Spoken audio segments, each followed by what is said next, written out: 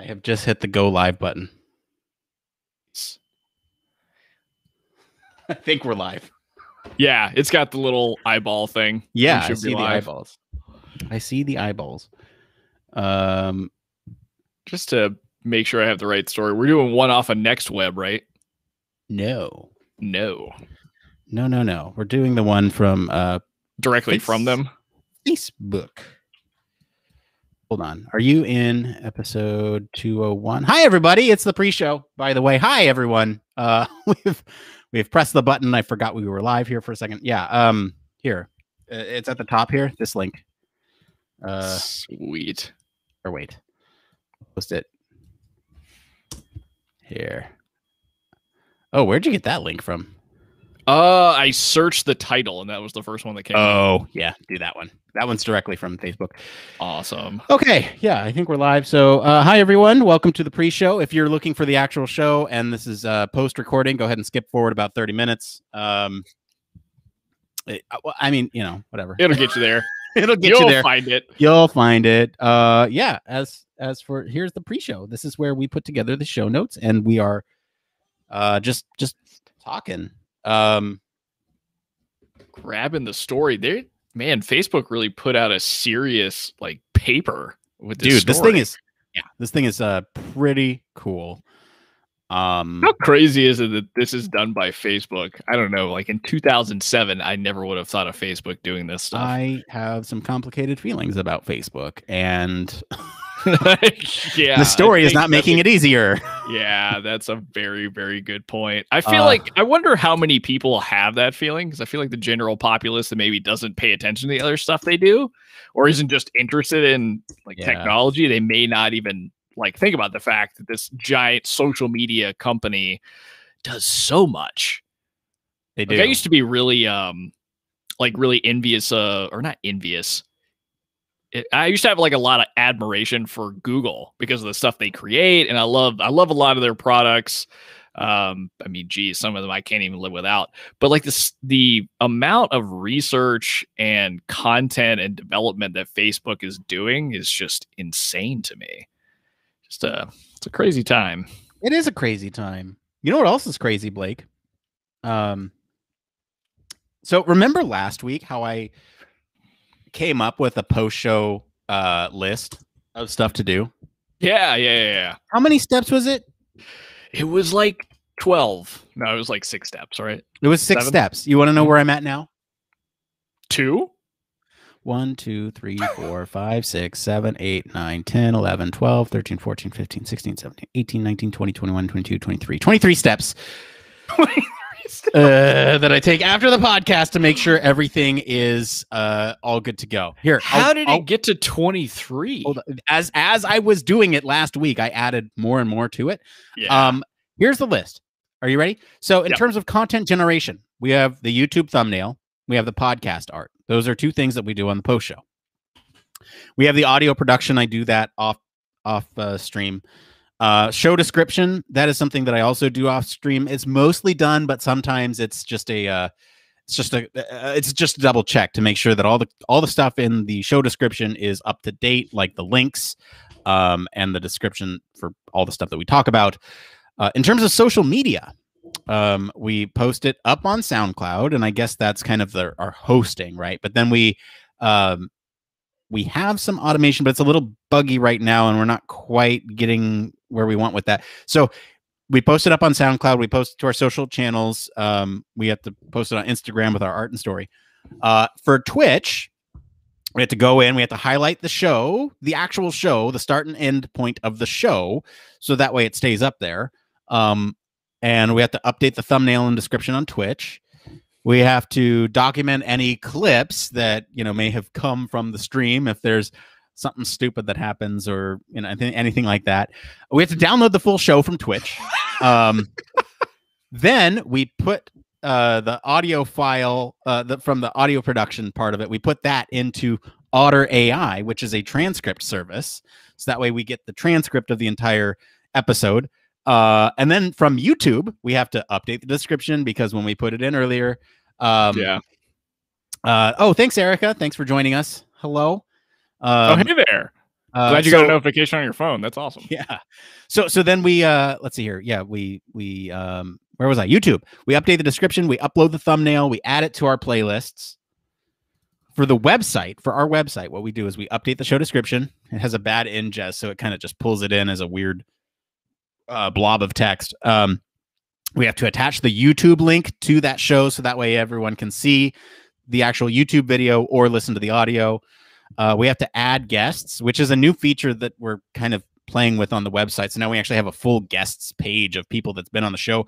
We're still populating that. We're not ready to announce that. excuse me. We're not ready to announce that officially yet, but it's something that we're working on. So we're actually giving our guests their own page on the website. Um, and here I'll actually show you that. So you can actually like follow. Hold on. Oh, you so this serious? is this is this is stream only, so um, I'm cool with showing the video here and describing it. But look, so let me pull this up. Yeah, so this is what it looks like behind the scenes.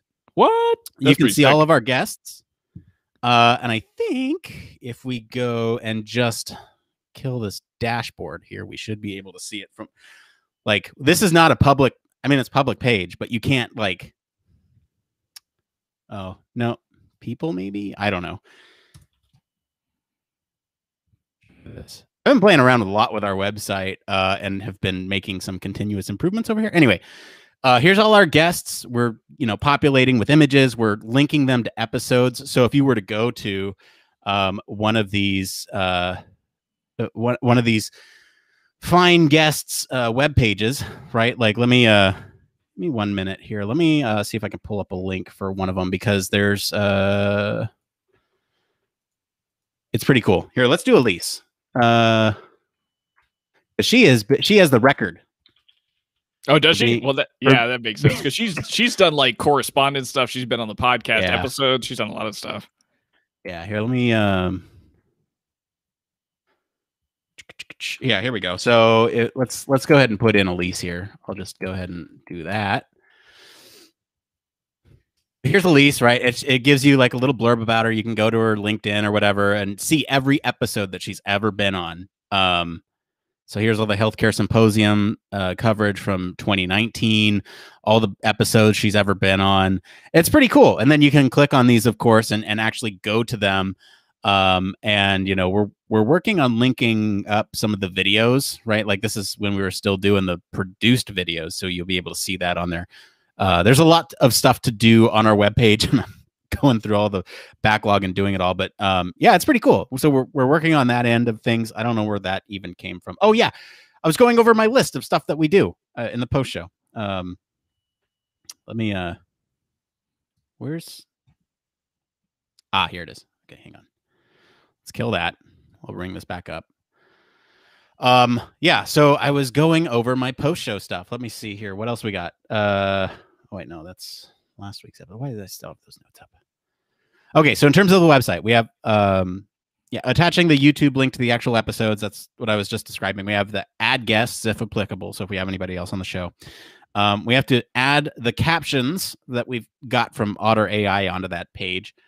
Uh, and then for Patreon, we have to do a whole separate stuff for Patreon, right? We have to make sure that that full episode is downloaded from Twitch. We have to convert that into audio and then insert you know insert the uh, show audio into that so that way it's just one long episode for our patrons um, we have to upload the patreon exclusive episode we have to schedule patrons choose the news we have to schedule the weekly q&a for monday um, so there's a lot. There's a lot that we have to do in the post show. And I think we may actually add a couple additional steps for you, Blake, we talked about before the show, but we'll see. We'll see. Um, yeah, wanna... I was actually going to have you walk me through some of that. And maybe mm. we'll spend some of the post show doing a yeah, bit of that. Let's do that. Yeah, I think, I think that would be, um, so uh, if, if you're, there's so few people that check out the pre and post show at this point. So I'm happy you, to... s- you say that, but uh, honestly, I had two people approach me to this week and said they listened to all of it, like the pre and the post.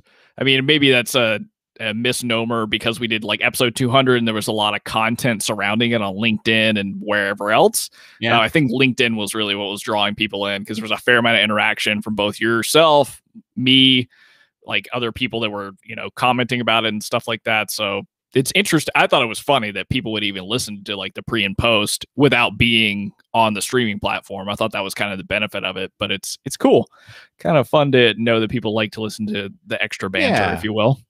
Yeah, it, it is fun um, because this is where you and I, Blake, just kind of get to hang out and make the show notes thing and, yeah yeah uh, this is where the magic happens if you will um, i do want to mention linkedin because uh, we had some issues last week oh that's right yeah you want to know what's going on with linkedin blake yeah so i got yeah so tell tell everybody else and then i have questions yeah so here's what's going on with linkedin so apparently uh, you can't just stream on linkedin it's not something that you can just plug in and go um, even though the tool that we use restream uh, which hang on, here you go. Up, wait, there it is, right up there. Restream. Yeah. Uh, it allows us to connect to it um, and to connect to our company page. It does not allow us to stream to it. Uh, and the reason for that is because you have to apply to become a streamer um, on linked on the LinkedIn platform, and we did. We applied for it after shortly after last week's episode. We got denied, and that's okay. Hold on, it's it's okay. So the reason why we got denied is because we didn't have uh, appropriate history with LinkedIn. Um, you know, both Blake and I are in good standing. We're not like flagged for uh, any weirdness there, but the uh, the issue was that our company page didn't have enough history posts. So we're trying um, to rectify that by posting all our episodes up there, um, as well as some of the other stuff that we've actually been working on behind the scenes we'll announce it properly on the show, but just to let you all know, we're kind of doing like these news roundups now, um, where we are, you know, actually kind of documenting the stuff that we do every week. So, you know, the last couple weeks I've been doing these office hours. Up until now, we've just kind of thrown them into the Slack. Um, and now that we have a Discord too, I was kind of looking at a solution to, um, you know, kind of to to tie them together. So if something was posted in one, it posts in the other. Still working on that weird automation bit. Um, managing two communities is a little weird, but you know we're again we're kind of A/B testing those. Um, and then the other bit is that uh, so we're, we're, taking all those news stories now. We're actually putting them together in a blog post. I can show this on the pre-show since you know I'm not going to actually pull this up during the actual show because it's audio only. Um, but I will bring this up now for everyone to see. So um, we're kind of doing. Let me see here. Let me pull this up. So this is this is this week's. We just did this week's here, uh, and what we're doing is kind of this weekly news, and we'll tag it with the date. And it's Tuesdays. You can check me out here on Twitch, or I guess wherever you're watching. I'm on Twitch, um, and we uh, so yeah, find, find me on Twitch on Tuesdays. I, I go through all these stories, but basically saying, hey, we got something different this week. We're posting a roundup of all the news um, through the use of this blogging tool on our website that we have. Um, and basically, you know, we'll um, we're gonna pull in stuff from the the stuff that our community members on Slack and Discord pull in. Uh, we're gonna share this bit to all of our social, right? LinkedIn, Facebook, Twitter, Instagram and speaking of LinkedIn, Erica in the chat says LinkedIn is actually super good for business marketing, but they have so many annoying things on their platform too. Blah. Hopes it works out for you all. Me too. yeah, seriously. Because even um, the instructions were kind of vague on what they provided us. Yeah. It's it's weird. So we'll we'll just try to keep posting there and hope that you know we kind of meet their criteria in 60 days.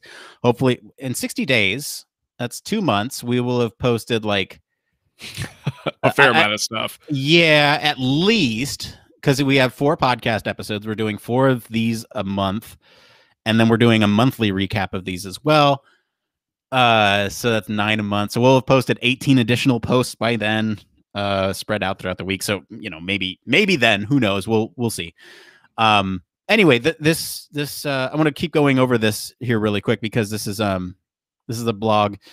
So we're doing two different categories, right? Our top news stories, if you will. This is the one where I think Blake and I can sit down for an extended period of time, sit and BS about this stuff. This is, you know, like uh our digital humans the next step in human computer interaction? Uh, you know, evaluating the safety of edge lane roads um, Ooh. I know that sounds lame, Blake, but it's actually really cool. It sounds pretty cool, actually. It's actually really cool. Hang on. And what's neat is that you can actually click on any of these and check it out. Hey, look, here it is. Here's the save, you know. Oh, it's the thing. That's cool.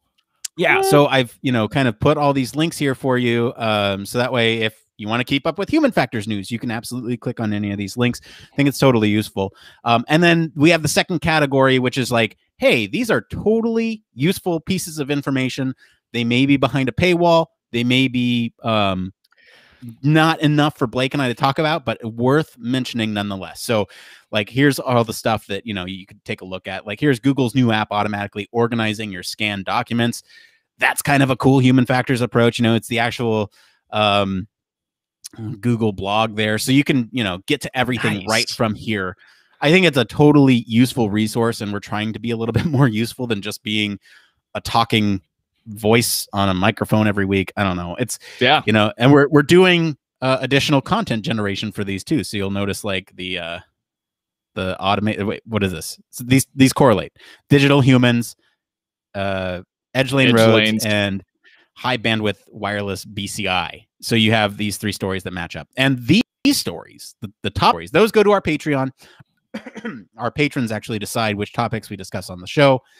Um, and thank you to our patrons for selecting this topic tonight. Um, it's something totally cool, and we actually had a uh, issue with ties on, the Patreon, so we'll uh, we'll see what's going on with that. Um, trying to figure out how to not make them tie every week. That's like three weeks in a row, isn't it? Yeah, where we had four way ties. oh my goodness, that's hilarious. It's getting better. Um, anyway, yeah, that's that's the blog. So we're gonna do um a a weekly one of these.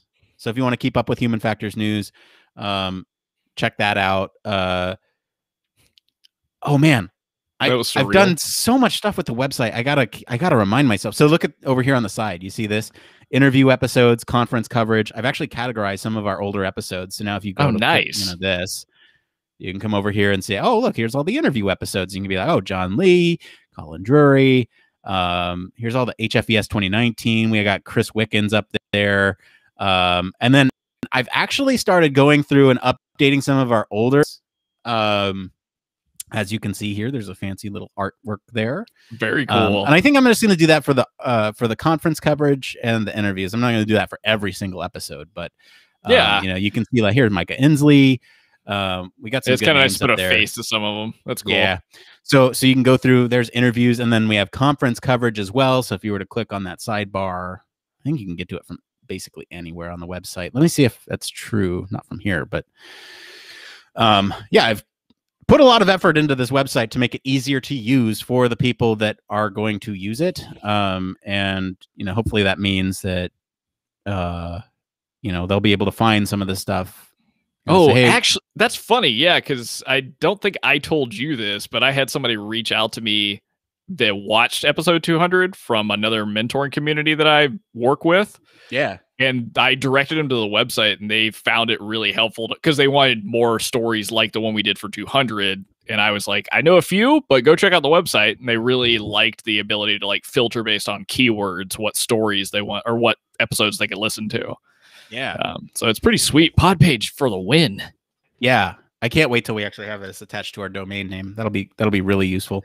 Um, but yeah, I mean, you can go check out all these bonus episodes that we have. Like here's Healthcare Symposium 2019, uh, HFESA, um, so Australia, and then we have so that's the Mateo's episode, right? Yeah. Oh, check this out. It's all connected. I'm telling you, it's all connected. So if you were to go to this HFES Australia, um, oh shoot, did I not do it yet? I didn't do it yet. Hold on. I did it for some, but not all of them. I have it all on my list here. Like if you were to go to the HFES 2020 retrospective, um, you can see down here, I actually have our guests, and you can see like, hey, in this episode, you have these people. That's really cool. Um, and if you like what you hear, you can actually click on their name and see what else they're in. So this is kind of going along with the guest. Anyway, I'm nerding out about the website, um, but it's super cool uh, to have all this available. I think it's going to make um, our content a little bit more valuable. I think we've just been sitting here talking into a microphone for five years, and now we're actually making it useful. Um, and it all starts with this blog. Uh, what time is yeah, it? It's we have yeah, we got ten minutes, twelve minutes. Okay, yeah, we're good. Uh, how we doing on the show notes, Blake? Notes are good. Good. Blurb's uh, a little uh, long. I think it's uh, it's kind of necessary for this one. Yeah, there's a lot to cover in there. Uh, let's see what else we got? Okay, there was okay. I'm gonna pull it came from section right now because there was one that I definitely want to touch on. Um, I feel like you know I was gonna pull this before the show, before you and I talked before the show, Blake, and I'm gonna, I'm gonna pull it afterwards. But this is quitting my new job six weeks in. How bad is this? Do I even care? Shoot, that's tough oh man. I was gonna pull it before. Anyway, uh, I'm gonna pull that one. yeah, it's it's from a um let's see here. It's that sounds... from a Is this uh, is this uh, from the HF world? This is from user experience. Okay. Um Oh yeah, we started posting back in Reddit again. Oh, you said that to me somewhere. You may maybe you shot me a text or something. Yeah. That's awesome. Because you were saying there was like uh, we were getting more traction in some of the HF stuff than normally is there. Yeah. That's um, good. Bring yeah, that I, sucker back to life or to I life. think so. Oh, by the way, Blake, uh, if we talk through that stuff, let me help you um, maybe maybe that's another piece that we can do is once mm. those episodes are uploaded um we can queue up a response to the the questioner, and you can just post the link to the video. Nice. There we you go. I mean? you know out. what I'm saying? Yeah. And that way, it's very targeted, and the person gets their answer, and we get our content, and people get their questions answered. All the yep. above. I All it's, great. Cool. So remind me at the end. Let's let's talk about that. Um, yeah. Okay. We can do that. So I'm going to pull that one because I thought it was a very good one. It's from it's from a uh, a single mom who's a senior designer. So it's it's just I, yeah, it's a lot. Yeah. Oh, let's see here. Whoa. I'm looking for any other good ones. I kind of flag these as I see them come through. Um do do we have a way this is so stupid. I should know the answer to this. Do we have a way to show some of these videos for our story tonight? Uh, we could. I probably want... get some DCMA YMCA stuff. We don't need that. Okay, that's never mind. That's what I'm worried about. Um. Yeah. Anyway, we we have the link. Uh, wait, do we have the link? No, because we don't have that in our recap yet. uh, you know what? We should just post that link in the chat. Can you just post the link in the chat for everyone, Blake? Absolutely. Um, there's a couple uh, videos that accompany tonight's episode that are definitely worth checking out. So, uh, it, it kind of helps you with the um I'm gonna grab a short and because this thing is nasty. So yeah. give me two Link seconds shortener. chat. Yeah, and you guys will have it shortly. Thanks, Blake. All right, let me copy. Yeah, because th- this one is definitely worth the videos, in my oh, opinion. Oh yeah, it's so cool. I I watched them earlier today to remind myself what's going on. It's very cool. Um, there you go, um, yeah. Story link. Thanks for posting that, Blake. Let's see here. Uh, I'm looking at some of these Reddit posts. I don't know if there's going to be anything worth pulling in. Oh, hey, here's one from the Human Factors sub. Want to keep up with Human Factors news? We're starting a new weekly blog. Oh, that's us. yeah, pull that one. Let's talk about that. Who are these people? Who are the, yeah, this is from Human Factors Cast on the Human Factors subreddit. Um, one big circle jerk. That's. Yeah, just a giant one. That's hilarious. All right, let's keep on looking here. Help figure out a wish list app, free statistics course. Okay, human systems engineering. Anyone completed this program at ASU? I can't handle praise from my mentor. I want to take this one. I I 100% of this one because I uh, no, this is one that I definitely wanted to talk about. So we'll pull this one here. Cool. Um, I'm gonna pull maybe one more, and then we'll triage. I like these ones for this show because they're more recent. And if we're going through with the thing that we talked about, which we'll talk about after the show, but if we're going through with that thing, then I want more recent uh, posts. I think that makes more yeah, because then we can actually mm-hmm. have potential of them not being deleted or whatever, mm-hmm. and asking them.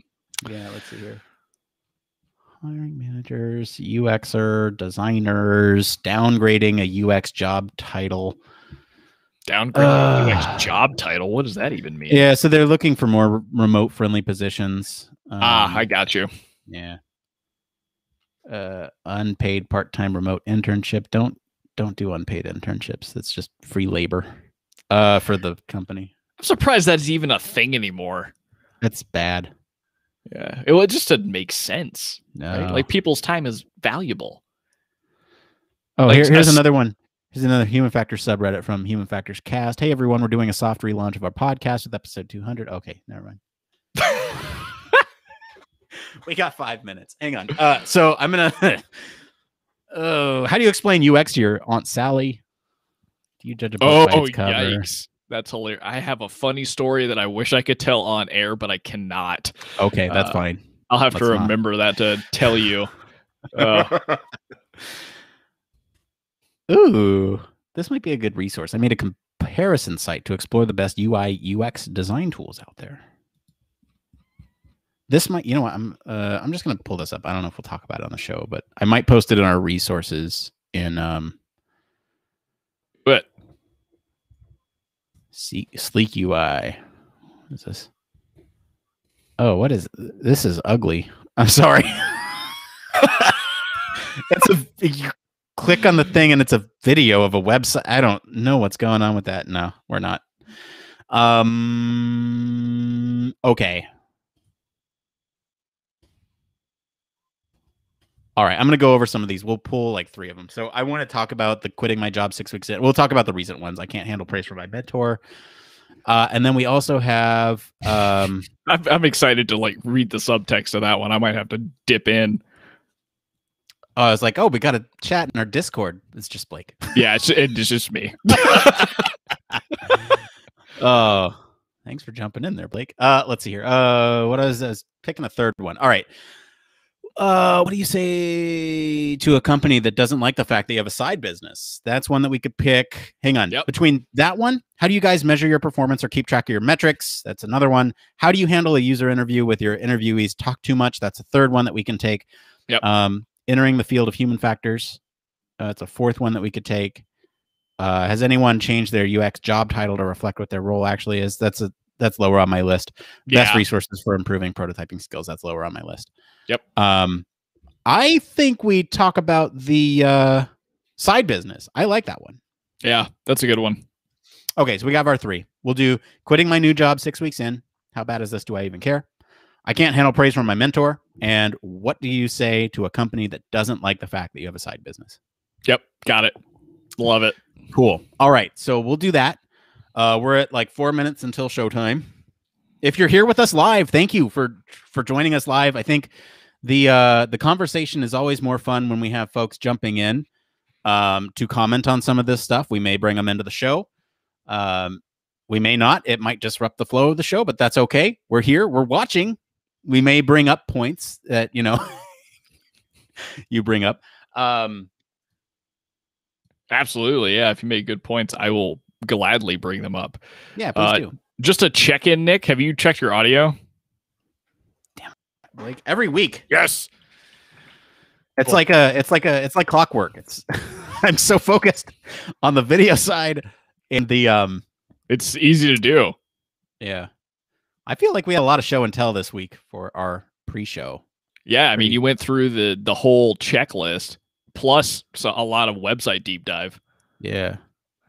Uh, and just to be clear for the pod tonight, we are flipping the script a little bit.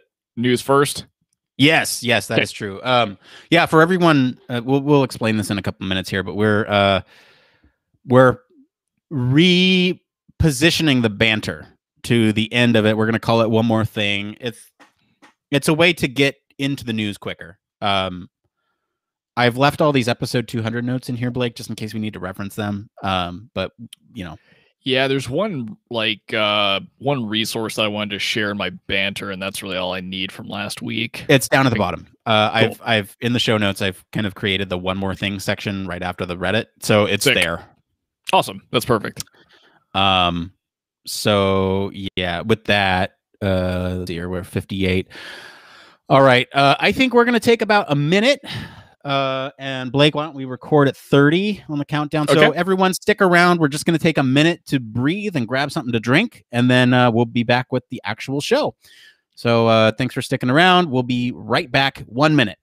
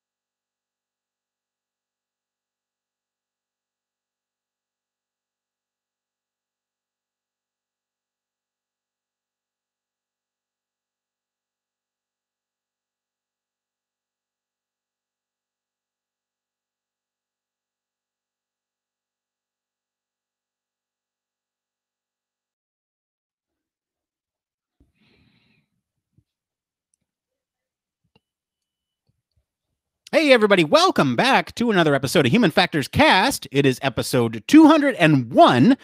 Uh, we're recording this live on April 8th, 2021. Uh, I'm your host, Nick Roome. I'm joined by my good friend and yours, Mr. Blake Arnsdorff. Yes. How are you doing, Nick? Blake, I'm good. Uh, I got some programming notes to go over. Just a quick community update. Uh, I want to thank everyone for tuning in to episode 200. That was a ton of fun to hear from everyone. Uh, and our numbers kind of definitely show that we had a lot of visibility on that episode. So thank you to everyone who watched that. Um, and if you're new to the show, thank you for hanging out with us. Um, happy to have you. Uh, you know, we've. Um, I do want to say that we've kind of uh, just a quick little community update. Uh, we've updated our events page in our Slack and Discord to include all major United States West cities. Uh, and we're going to slowly add to that over time. So it's kind of populating some of these uh, meetups from United States West. And we're going to work on United States East next. So everything uh, west of Colorado. We're, uh, you know, is all in kind of one feed, so you can kind of see what's going on.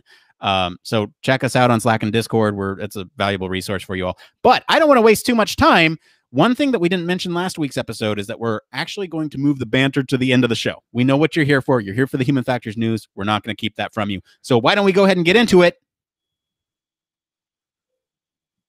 That's right. This part of the show is all about human factors news. This is where we talk about everything related to the field of human factors. This could be anything uh, from medical, privacy, security, robotics, AI, whatever it is, as long as it relates to the field of human factors, it is fair game for us to sit here and talk about. What do we have up this week? We're kind of touching on a lot of different aspects, but this comes from Facebook Reality Labs research this week. So it, they're actually building an augmented reality that won't actually force users to choose between interacting with devices or the real world around you. So rather than dragging your attention away to peripheral devices like what we have with our mobile phones, AR glasses will change the world around you, making people kind of the center of the computing experience. The future of HCI definitely depends on an exceptionally easy to use and reliable, as well as private interface that lets us remain completely present in the real world at all times while also being able to experience what's augmented. Glasses are really cool and that will likely be a driving force of augmented reality's future but there's also another opportunity and that comes from the wrist so the wrist is a traditional place where we wear watches uh, fitbits any of that kind of stuff meaning it could reasonably fit into your everyday life and be acceptable in even social contexts it's a comfortable location to wear wearables all day and it's located right next to primary instruments you would use to interact with the world in augmented reality your own hands. So the proximity here would allow us to bring rich control capabilities of AR into your hands, enable with a com- combination with glasses, enabling much more intuitive, powerful, and even satisfying interactions. So Facebook believes that their wristband wearables may offer a path to low ultra low friction, always available inputs for AR glasses. But it's not a complete complete solution at the moment, but it's a work in progress. So, Nick, this is something I haven't really thought about with AR or if it gets put into glasses. The fact that you have to kind of have a medium that the glasses can interact with so that you can manipulate your own physical world that you're dealing with. Yeah, let's talk a brief brief history of augmented reality, where it is now, and what the interaction methods are now. Uh, so think about augmented reality. This is a, a virtual overlay of the environment in which you're in. So if you were looking at a wall, you might be able to project something like a calendar on that wall. If you were to look at uh, an object in the physical world, it might give you additional details about what this is. Like I'm holding up duct tape right now. This might actually tell me that what I'm looking at is uh, Gorilla brand duct tape, not sponsored on this episode. Uh, but, you know, it, it might tell me additional information about it. Likewise, I might hold up a device that is able to be interacted with. So, like, let's say I walk up to a lamp in my uh, home, or if I look up to a light source, I may be able to modify that.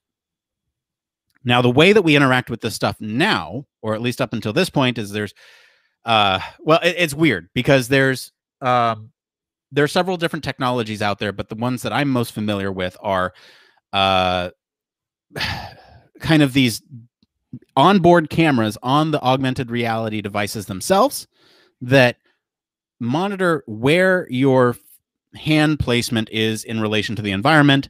And you might be able to control something by reaching out and touching a virtual object with your finger, and there's tracking built into the device that you're using. Um, there's also uh, a keyboard and mouse, which is a traditional uh, interface that you use to interact with some of these um, elements in a virtual space. And it's a little weird to think about that conceptually. Like if you were to wear a pair of augmented reality glasses and you were to move a mouse up off your computer and onto your wall to interact with that calendar, right? That's one example. Gotcha. Now, let's talk about Facebook, what they're doing here. We're looking at a wrist device that measures EMG uh, EEG. Is it EMG? EMG. EMG. You're right. It's it's looking at EMG, um, and it is offering this wrist-mounted wearable as a as an additional method of interacting with your environment. So now, if you were to walk up to that lamp, that same lamp, there might be an interface, but now it's tracking my intent through the use of this wearable. So if I go up to it and I press my wrist down, or if I push my finger down, it the the device will presumably pick that up, present me with haptic feedback built into the device, and give me that sensation that, yes, I have clicked that object and I can slide down the brightness, I can turn it on, turn it off, change the color, all that stuff. And there's a video on this article you can go and check out. And if you're listening to this, I highly recommend going and looking at this article as we talk about it in tandem, because there's going to be a lot of these concepts that we're talking about that are uh, easier to show than they are to describe with words. We'll try our best here on the show. Um, but I think that's a pretty good recap of where we're at with AR and how we interact with it and kind of what this thing is at, at the base level. I also wanted to ask you, Nick, because you're you're so much more plugged into anything virtual reality or augmented reality. So I, I want to ask potentially a layman's question, but what I consider just something I don't know. So they talk a good bit about in the beginning of this article the the kind of new the modes of interaction right now have to do with your phone. So is things like you know being able to use an IKEA app that allows you to manipulate furniture in your house and project it on your space, or like stuff like Pokemon Go. Is that also considered augmented reality? Yeah, good point of clarification there. So I was talking specifically about it about like a head-mounted augmented sure. reality display. There are other augmented reality tools that you can use. Mobile is a big part of this right now. You can uh, visualize 3D objects in your own personal space. You can, uh, like you said, IKEA, you can put a new couch in your space and see how that might fit based on the um, the dimensions of your own household. Now there are, you know, there's Pokemon Go, which overlays uh, a virtual Pokemon on top of the environment in which you're in, um, and there's actually a really cool article from Niantic, they're actually building some AR glasses so you can actually see the Pokemon, and it's it's pretty. Oh, cool. that's wild. Um, so uh, they teased it. There's no actual news yet, so we might actually have that in our uh, news at some point, but uh, we'll see where we go. Um, yes, that is all included in augmented reality. When you think about the umbrella of mixed reality, just X reality, whatever it is, right? Yeah, augmented, mixed, virtual. Uh, so that's that's a part of it very cool. Yeah. So I mean, the transition away from like just the phone experience, right? Because although it, it's cool, it's interesting, it's something you keep in your pocket and you always have. Like I, I totally get Facebook's perspective and their kind of like long thinking or long term game here of well, we're we know we Facebook are going to try and integrate it into glasses, assuming there's definitely other companies that have tried this and have not perfected it yet. We've talked about them on the show a couple of times.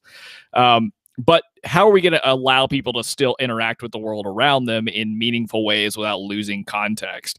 So I think it's it does show a lot of really intensive and thoughtful research on Facebook's part to think about like, well, okay, what's most natural probably using your hands and how do we allow people to do that and so this this idea of sticking something on your wrist as a wearable that in in the videos or in any of the images you see might look pretty big like bracelets and almost could be clunky, but I could imagine over time this stuff gets, you know, whittled down to a band, kind of like how Fitbits originally started.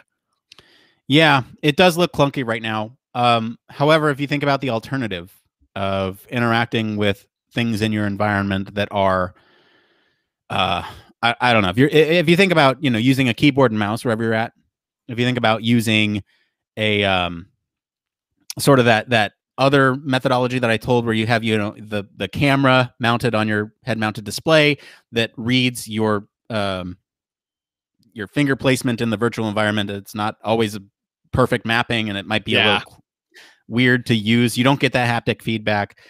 Um, so this this makes sense from that perspective, right? You're you're using your hands to interact with augmented uh, objects in your environment, um, and uh, so can, can we talk about this device? Just this. Let's just talk yeah. about how this thing works, right? So, um, like we mentioned, it's uh, it, it's using EMG, and um, basically what that means is that uh, you are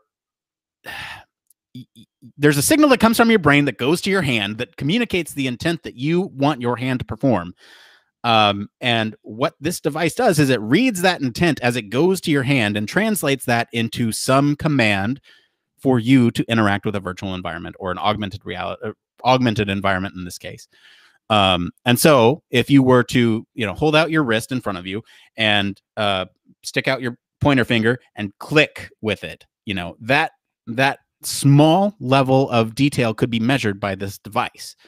Um, and so, you also have things like positional tracking. So it would know where your hand is in relation to the 3D space. And so if you communicate both the uh, position of your hand and the intent of your interaction, i.e., a finger click, then it can determine where exactly you are intending to click in that virtual environment. Um, so that's kind of at, at a base level how this goes. We're not going to get into the science of EMG but you can imagine that there's a lot of um, there's a lot of cool technology that goes into reading your intent and uh, you know using a computer to algorithm to understand exactly where you're at. We're talking about the computer or the human computer inter- interaction side of things here and what this might mean. Um, you know, as it relates to how you interact with these environments now. Um, so I, I, mean, they they mention a couple things in their art uh, their article here about like controlling virtual objects. You can like grab stuff and move it um, with your hand uh, using this device. You can do like a, a, typing on your own personal keyboard, which I have a little bit of issue with because there's the haptic feedback is weird. And if you look at the demo, it's very janky. There's like there's some um, there's some magic going on there, I think, behind the scenes. If you look at the video, they're they're clearly typing and there's like some computer algorithm behind the scene that's like correcting it for them. Um, because it's like, oh, this could have been, you know, J or K, but I'm not quite sure. So I'm just gonna put both down and then as the word gets typed out, it kind of changes. So it, it's a little janky to me. Um, you know, we're also talking about um different types of interaction. Like they use this uh they use this bow and arrow example of how you know there might be a complex interaction where you're using both of your hands to do something um, you can imagine that there's a lot of different possibilities with this but that's just kind of a preview of what they're intending this thing to be used with yeah and i guess like one thing i was questioning because it's it's it, it's really mind-blowing to me because like measuring emgs or EMG has been around for a long, long time, using a lot of different applications before. But like the fact that this is now a able to measure something at such a much finer grain of detail that you can catch those signals fast enough to kind of understand that even at like a finger touch, that's where somebody's meaning something to be. Uh, but the part that I always kind of go back to, I don't know if it's because I've spent too much time dealing with input devices in my thesis work or in my research work, I guess. But I immediately wondered, like, okay, great. So the it's more seamless to interact with your environment, but how does that actually feel in addition to the visual perception that you're changing things? And so it looks like part of the reason I'm imagining that these wrist wearables are so big is they have looks like they have like tubes all the way around the size, like a really big chain link wristwatch. And that is part of the haptic feedback system that is able to kind of correct you or give you a little bit more about what's going on in the environment. I think they I think the prototype is actually called the tactical squeeze bracelet interface. So these little vibro tactile vibro tactical uh, actuators are all around your wrist and kind of give you a little bit of extra feedback in terms of what's going on in the environment so I mean it's really cool, but it does like in the videos kind of show you that it's still an early prototype stage. There's a lot to kind of figure out in terms of probably the glasses themselves, but also the interfaces with the real world. Yeah, so let's talk briefly about that haptic interface that you mentioned, right? So now instead of like I said, you know, traditionally the experience has been uh minimal feedback, I would say. Um, you know, if you're looking at it through your phone, you might get a, a vibration on your phone, but it doesn't give you direction. You might get um, you know, a vibration on your head if you're looking at a, uh, you know, if there's some vibration mechanism in your HMD, uh, but then it kind of vibrates your vision and maybe makes things a little squiggly. There's there's issues with the way it is now. So by providing that haptic feedback on um, these wrist-mounted devices, now you're actually kind of localizing it to the hands which are interacting with this environment. So one example that they use here is kind of this bow and arrow, um, where you imagine if you were to um, cock a bow and arrow, right? As you pull it back, um, basically what happens on these devices is it is it gives you the sensation that it's tightening around your wrist. That um, as you pull back this virtual bow and arrow, you are you know it's giving you more and more haptic feedback to give you that you are that sense of tension in the string. Um, and you know, as you let go, all that tension goes away. And so they are using some clever um, haptic feedback to kind of communicate what's going on. I'd imagine a click is very easy to simulate. You know, you just give a click, uh, a, a, vibration maybe on the bottom of the race bracelet to make you feel like you just clicked an object. Um, or there might be even I, I don't know if they mentioned this in the article. It's been a while since I read it. Admittedly, we found this last week. So, you know, if if there's um, some uh, way of providing a sensation of if you're going to, if you're if you're getting near a virtual object too, right? Like let's say, let's say there is some object in the virtual space, and as you're nearing it, it might give you some proximity, um, haptic feedback to let you know that you're close to that, you know, uh, object. So as you get closer, it might vibrate a little harder. As you move away, it might vibrate a little less. Um, and there are some really interesting things going on with haptic technology right now. You know, you see this in the PlayStation 5 controller, um, where there's more advanced ways to give you specific uh, haptic feedback than just the rotational motors of the past, right? There's there's some really advanced ways in which you can um, get that haptic feedback now, and it's actually very specific and can you can do some really interesting things. That I highly recommend anyone go check out what's going on with the PlayStation Five triggers um, for more on that. But you know, just just leave it uh, leave it to say suffice to say that there's some really cool interaction methods that you can do with some of that haptic feedback. And I think what they're doing here um, is is actually really cool, right? I mean, you can imagine there's a a whole set of research questions that you can ask and answer about what haptic feedback is appropriate for interacting with augmented objects. Uh, that's cool, yeah, man. there's even like uh it's it's kind of an interesting UX design space as well because it gives you a way to understand what what's the impact of somebody interacting in this space. How immersive does it actually feel? I mean, uh, some of the the stuff that they show on the website. If anybody's watched the videos, you'll you'll notice that some of it's kind of like cartoonish. Um, but what if this is a much more realistic world environment? How do you keep that immersion going? And I'm, a lot of it's probably going to be between, you know, some in some degrees, I would imagine some sound design, what's the visual doing, but also on top of that, how haptics are interacting with you in a way that you know, makes you feel like it's a normal experience because, like Nick was describing, there may be instances where you're kind of having to augment the world. That's so silly to say in this context, but you're you're almost augmenting a typical experience to feel like it. It's uh, like you're getting closer to an object. Like in the real world, like I've got an amp to the right of me, I don't vibrate or get you know any haptic feedback as I move closer to it. I only get tactile feedback when I actually touch it. So it's it's kind of bridging that gap to create those more immersive experiences through a combination of what we experience in the normal world, but also using different mediums like haptics to make something feel more realistic or make it feel real at all. Yeah, let's talk about kind of the um the the, the what I would consider the weird part of this. Um you you talk about haptics and making it feel a little bit more normal. They they talk briefly about the social haptics bit of this, right? So they also suggest that haptics on these devices might actually be able to convey emotion. Um, and and they actually are calling these haptic emojis.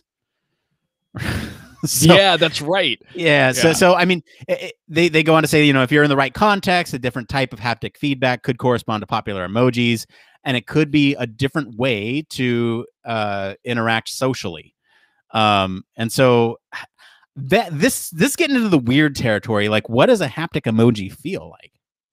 You know, like I, it's so conceptually far from what we're uh what we have right now, at least in my mind, right? I, I think of a of emoji like what does a 100% emoji sound feel like, right? Like full vibration.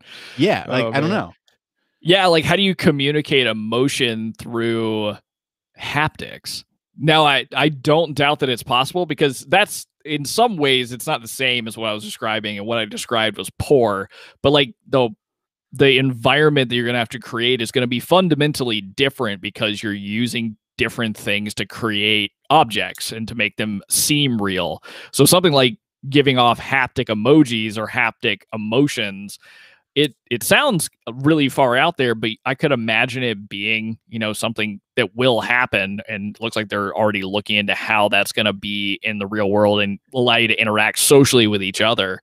Yeah. Uh, but it's it's almost it's funny because when I think of emotions, maybe it's just the psychology in me. I think of color more so than anything else and visual perception. So what that means in a you know, vibrate vibratory action. I have no idea, but like when you said 100, that just made me th- feel like that it's a lot of vibration. I don't know, um, but it'd yeah. be cool to see how that evolves. It will be cool to see how that um, kind of comes into play here. And I, I do want to mention, so they we're we're talking about these research threads right now. There's they have several different prototypes to kind of um, get at these different research threads. Like they have one prototype for uh, the um, I think it's for the emojis, right? They have this bellow band which uses air uh, within the bellows and can be controlled to render pressure and vibration uh, and these complex patterns of space and time.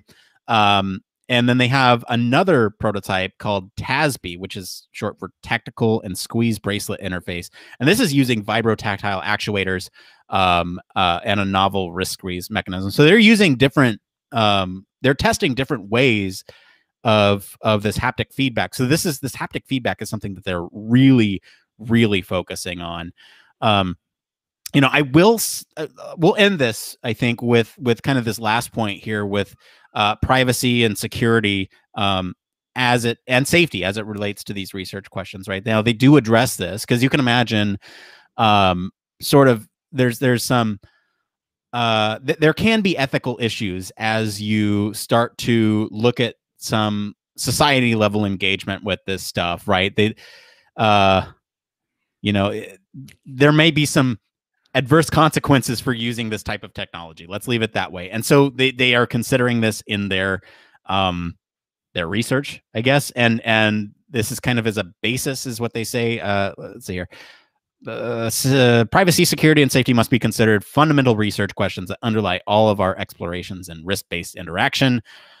This is coming from Facebook.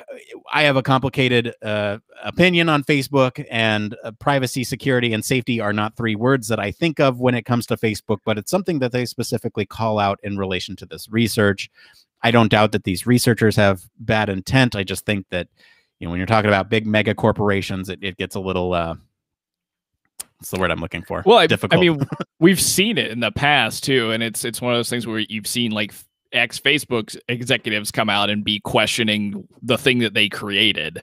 So it's it's good to see that hopefully there is actual like ethics committees that are really kind of taking a hold of how Facebook is from the research funding is approaching these problems. It seems like it in this article. They do, you know, have a fair chunk about a couple of different, you know, sectors within Facebook that function and think about the eth- ethics in AR, the ethics in you know, taking control of people's like neuroplasticity to be able to mm-hmm. understand mm-hmm. all that kind of stuff. So it's it's good, um, and it's coming from an institution that we know in the past we have probably have all questioned at some point or another what they're doing in terms of privacy and security.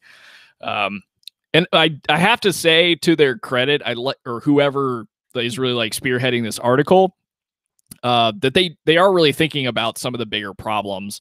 Then you mentioned privacy and security, and I think safety becomes a big one when you mm-hmm. create mm-hmm. this augmented world because like like Pokemon Go is the example I go to, but I remember a lot a lot of people kind of getting themselves in precarious situations, not paying attention to the world around them while they were point, yeah walking over train tracks and. Uh... Yeah, I mean exactly. Or like I watched somebody walk into a stop sign one time. But it's it's like this kind of stuff you have to figure out where the the line in the real world like bridges that gap so that we are not creating like safety issues for people that are interacting in augmented worlds while they're out and about with other people in a social setting or whatever it may be. Yeah, I'll, I'll leave it with one last point here. They, they say they collaborate with academic ethicists uh, to help the industry as a whole address issues, and our embedded ethicists within our team help guide us as we address considerations like data management. So that's another kind of important issue. All right, I think I think we're good on that story. Uh, I just want to thank uh, Facebook for our story this week. It was a it was a pretty good one, I think. Um, and and thank you to our patrons for selecting the topic this week. Um, you know, if you want to follow along, uh, we have an interesting way you can do that now. But we do post all of them in our Slack and Discord as we find them. So join us over there for our discussion. We're going to take a quick break. We'll be back in a minute. Uh, we'll see what's going on in the human factors community. Back after this.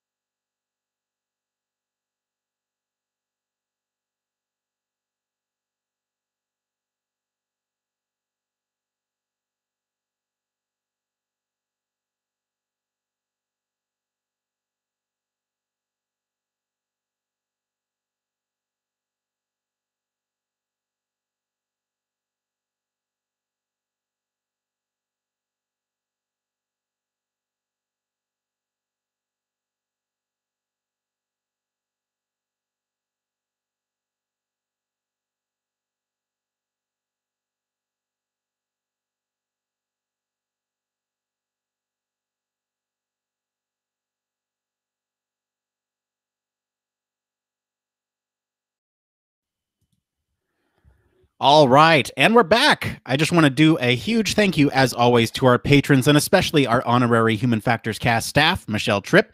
Patrons like you keep the show running. Thank you all so much for your continued support.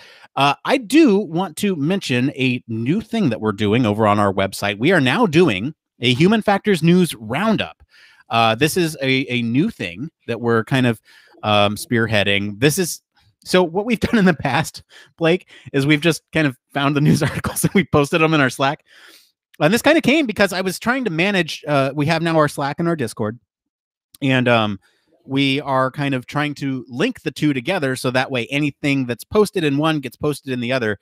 And kind of our our shorthand uh, solution is um, is is this human factors news roundup. So if you if you follow us on any of our social channels, we've actually posted this across those.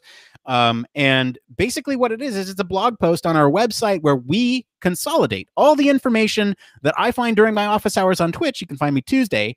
Um, finding those news stories and we've linked them all for you they're conveniently all in one place for you so if you are interested in following human factors news for all the things that don't make the show or things that our patrons get to vote on uh, to select the news story. Um, check that out. It's something I think that you know we've just been doing anyway, um, and now it's a way to kind of package it up and and give it back to the human factors community. We're trying to be more than just mouthpieces on a podcast every week. We're trying to give back to the community. Uh, speaking of the community, let's go ahead and get into this next part of the show.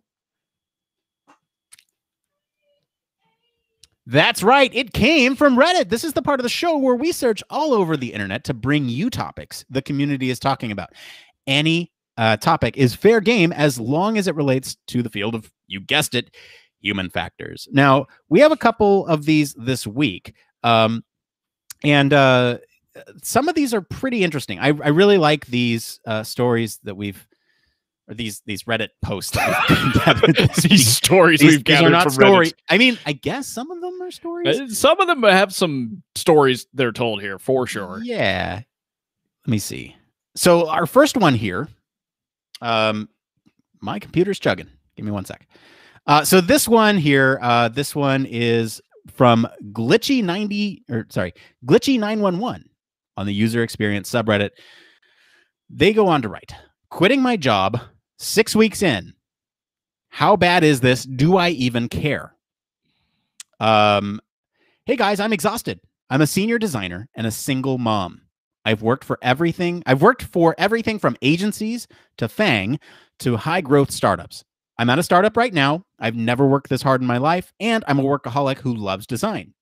I'm pulling 12 hour day minimums, and more common is working from around 9 a.m. to 10 p.m., taking a little break and then working until 2 a.m. or so. Uh, I've tried everything. Talking to them, they literally laughed when I told them how many hours I was working.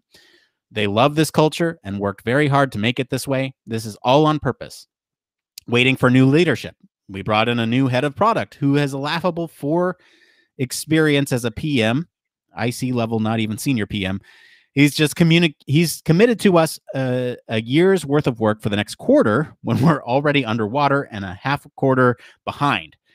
Just not working more than 8 hours. We missed our deadlines and got yelled at for being the world's slowest design team and the CEO has been quote pissed at us every uh, every day since. The only thing I can think of to do here is leave at this point. We've been set up to fail for Q2. I directly told them that even if every designer at the company worked for 24 hours straight on the project for all of Q2, it would still only be halfway done. The answer, as always, guys, come on, we got to be aggressive here. I'm at the point where I'm angry. I hate the company. I hate the work now. I hate the leadership. I have no life and barely interact with my son anymore. They pay a lot, but that's just numbers in the bank after I reached my after I reached mid 100s. Okay, good flex. yeah, seriously. So, so now I'm interviewing and actively looking. I'm terrified of getting stuck in a sim- similar role after this. I'm trying to tell myself there's no way these more established companies work like this, but there was uh, no sign of this culture in the interview process. Also, it's going to be really awkward to quit after six weeks when the CEO is my direct boss, but I literally don't know what else to do. This is the nightmare job I've always been afraid of in tech, but luckily never encountered before. Blake, what should this? What should glitchy nine one one do? Welcome to is intense. I don't know. Yeah. Yes and no. I mean, welcome to startups though.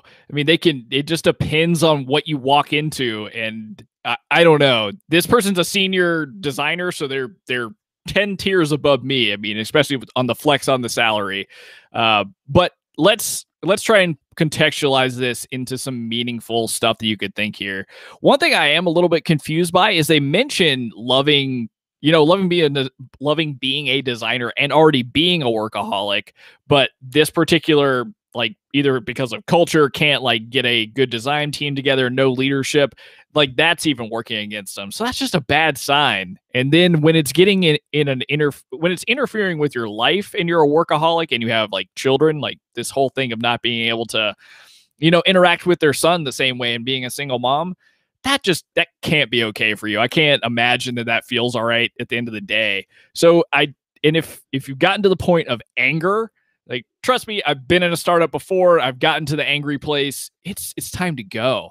And it seems like you must have a lot of talent. It because you've you've mentioned you've worked in Fang, you've worked in other high growth startups. So maybe this is just one in the bad batch and it sounded good.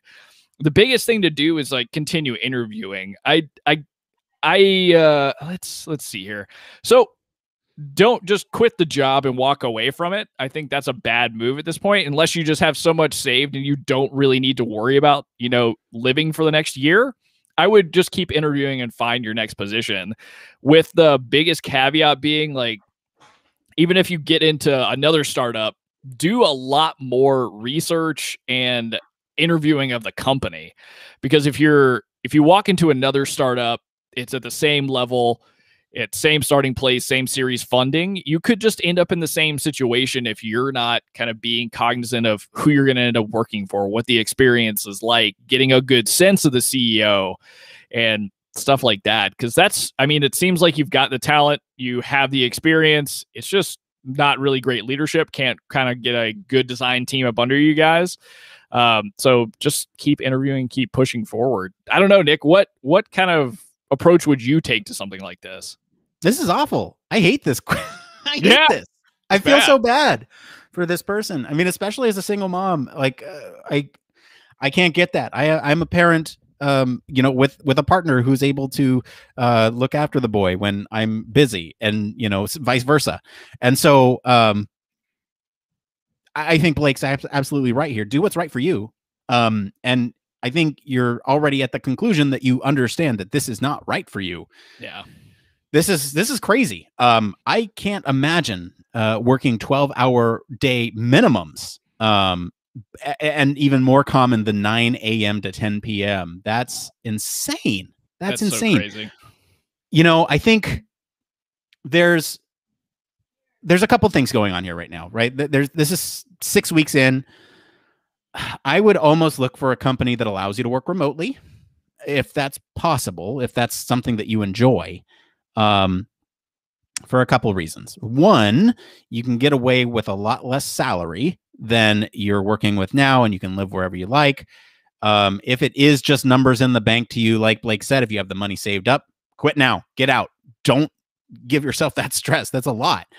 Um, that's a lot to deal with. And uh, I, I just I I can't imagine working in this environment for long without burning out entirely. Like, um, you know if you're if you're in this environment where you're actually just not loving it anymore then why are you even there why are why are you doing that thing um just find something else that you might enjoy better or gives you a better work life balance between the work that you're doing and the work that you're expected to do and um you know the the commitment to your family that you need um you know that's I think Blake kind of hit the nail on the head here. If you're if you're talking to a company, you're interviewing them just as much as they're interviewing you, and so, um, you know, it's kind of hard to get a sense of culture of a company from the outside looking in.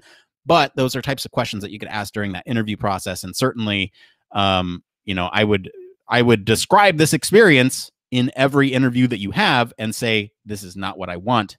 Um, what's your you know kind of work life balance like here? Um, yeah. And if, if you get any weird vibes, maybe don't pursue it. That's that's kind of where I'm at. Yeah, I mean the so one thing that I'm just noticing, and I caught like just in case somebody's listening to this or when we cut this up and put it on YouTube or wherever else we put it, like if you find yourself being angry and you hate the company, ask yourself, okay, I, I hate the company. Do I love the product and do I believe in the product? Because you can change company culture if you hate leadership in this startup world, that turns over and often changes a lot. That's just the nature of, you know, early stage startups or high growth startups. But if you ever find yourself hating the work, that's where I think there's a really big problem because you can't you can't fix that for anybody but yourself. And if you're just at the point where you don't you don't want to do human factors, you don't want to do user experience design, you don't want to be a software developer, you've really got to take a step back and either take a pause in your career life or definitely be diving really deep into finding something else to do or something else that will bring that meaning back into the stuff that you used to like doing and you enjoyed before. So that's like that's a really big takeaway here.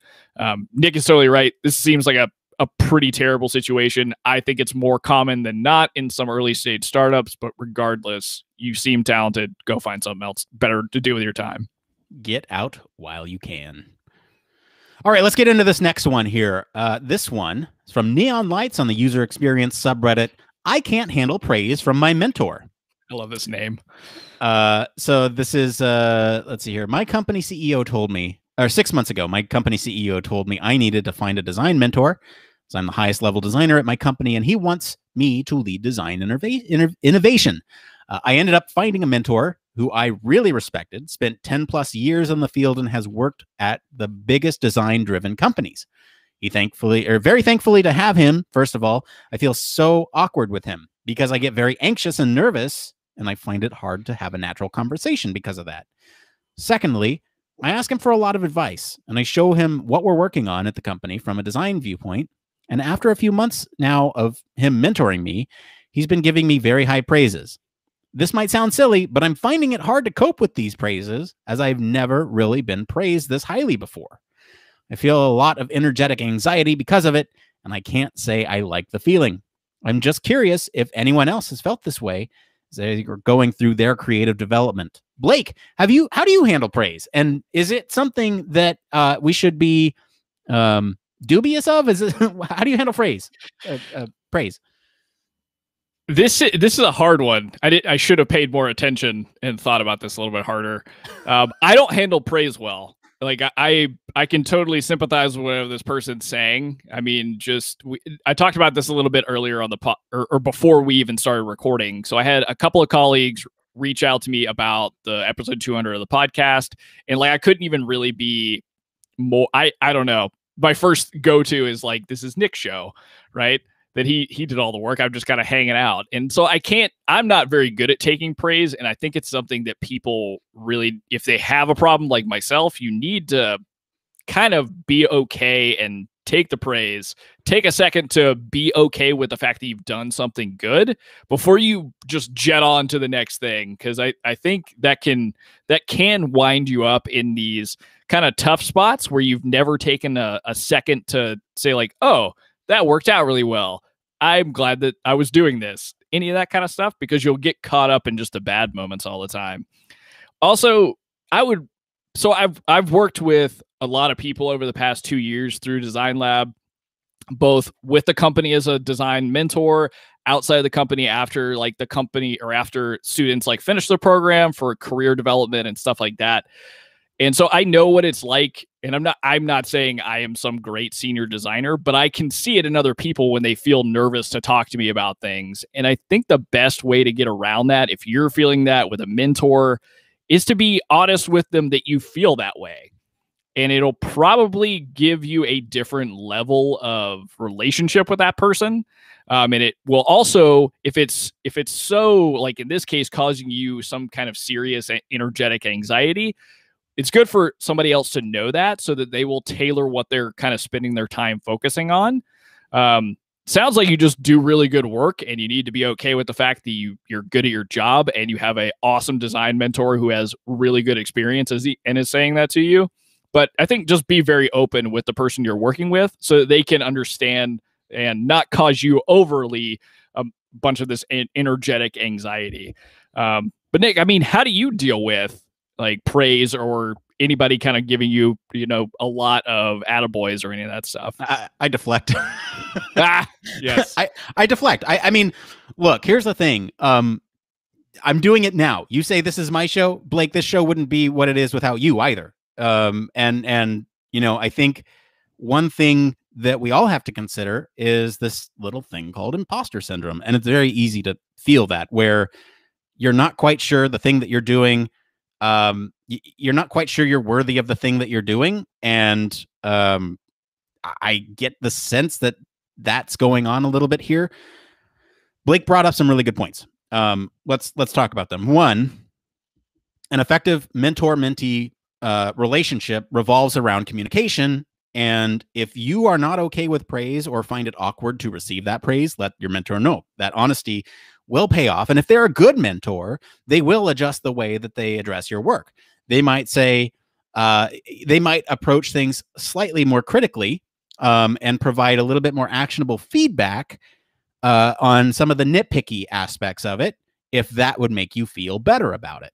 Um, there are ways to give backhanded compliments, if you will, uh, in a mentor mentee relationship that still provides feedback, but also mostly tells somebody that they're on the right path? Um, this is a weird question because uh, I I know a lot of people who don't take praise well, um, and and uh, you know I think both of us here on the show are included in that, right? Like you said it yourself. You you got praise for last last last week's episode, and um I, I, did too and it's just it's one of those things where it's like look like it, it we're just doing the thing that we do um it, it, it's almost like it's expected and so don't praise us because we're just doing the thing uh I, I don't know i struggle with this one too personally um and the best thing we can do is kind of communicate with our mentor and say hey i, I don't can you phrase it a different way um yeah it's super important and and and when you do get that awkward, you know, kind of compliment, then then that's when you bring it up to them. Like say, hey, look, like that's really nice of you to say. Um, I don't necessarily feel that. Um, I feel like this is just part of the job, and uh, I, am looking for actionable feedback here. I'm not looking for praise. Uh, and so, you know, anything, even nitpicks, that that would be appreciated. And so, kind of outlining exactly what you're looking for uh, instead of praise, I think might be a, a way to go. Um, yeah, anything else to add to that one, Blake?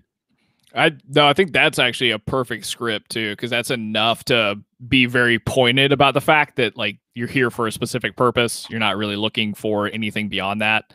Um, and then it'll it'll probably have your mentor shift their focus and be like, they will tell you still good work. Here's some things you could think about looking at or you should consider versus like long-winded praise. I don't yeah.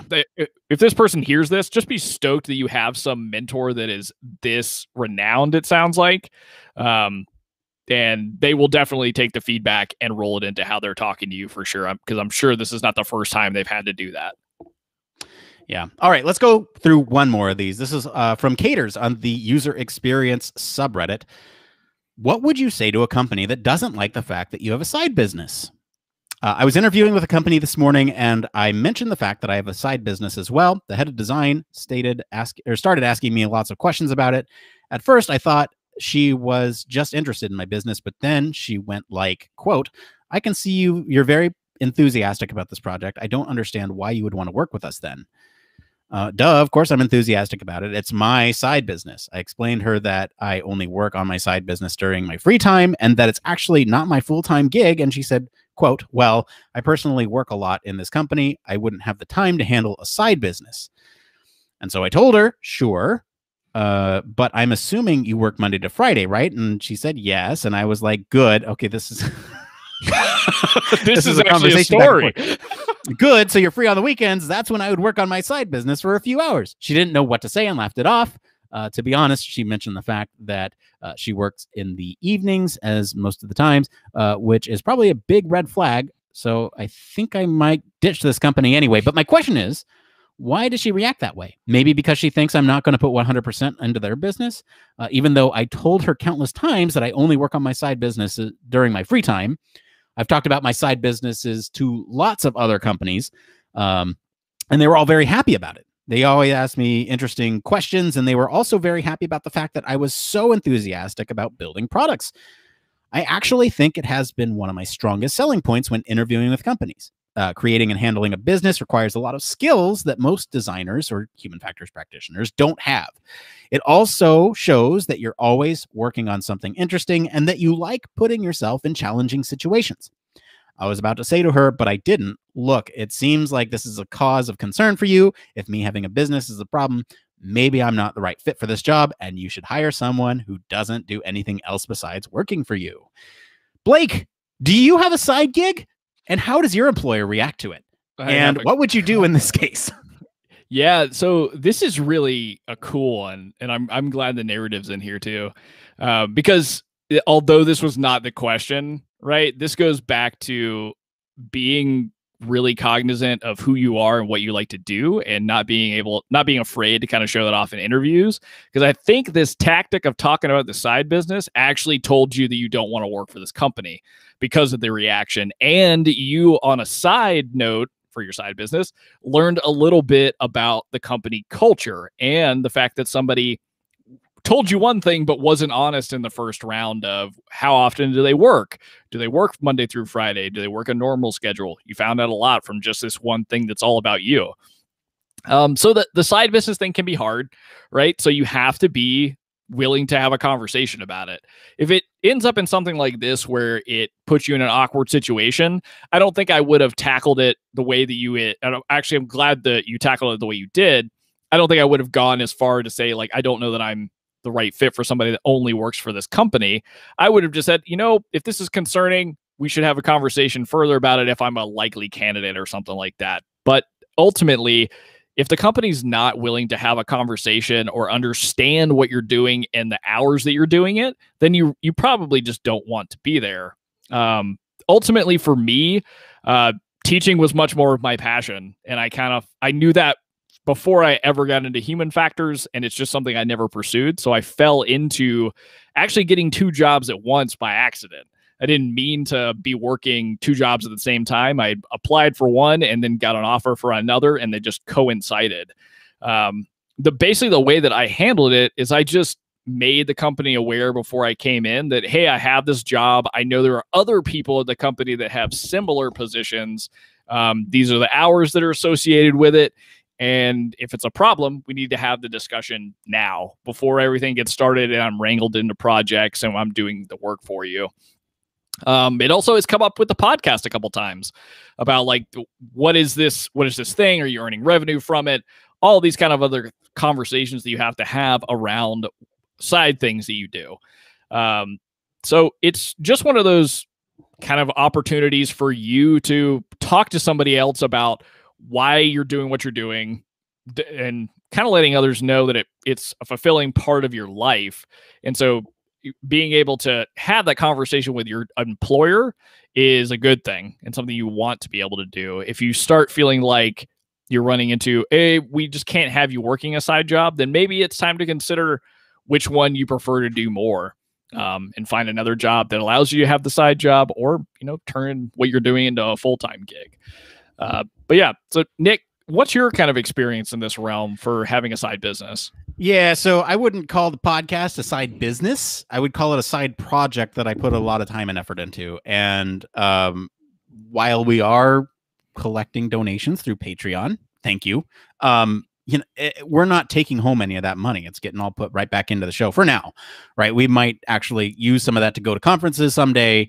Um, and that's when it's going to be a little bit more tricky to navigate in in terms of an employer. How, however, I will say from my perspective, I've had employers that both appreciate what I do in this side project, um, and I've gotten a slap on the wrist for it, and in the same uh, in the same company even. So it's like you just have to communicate that you are engaging in this uh, other opportunity here.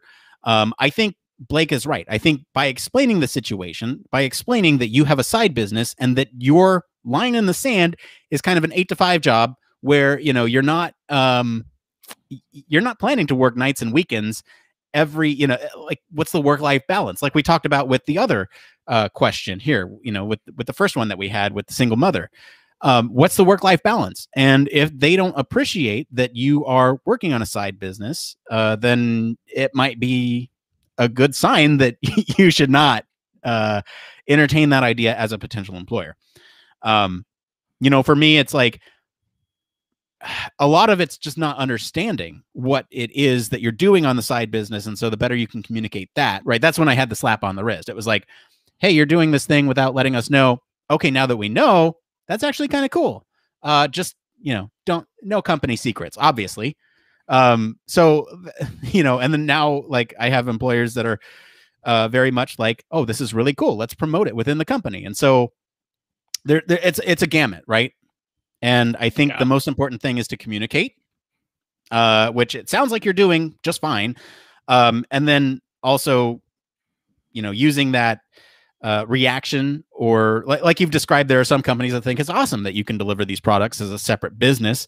Um, and you know those those are the ones that you want to look at personally i think is the ones yeah. that are going to let you do the things that you want to do on the side anything else to add to that blake no i think we've kind of covered it the other option there to that'll help you have that conversation which i have i've had in interviews is putting your side business and side project stuff in your resume in a highlighted way uh, because that actually ends up sparking more interesting conversation sometimes than just like maybe the the traditional stuff that you do.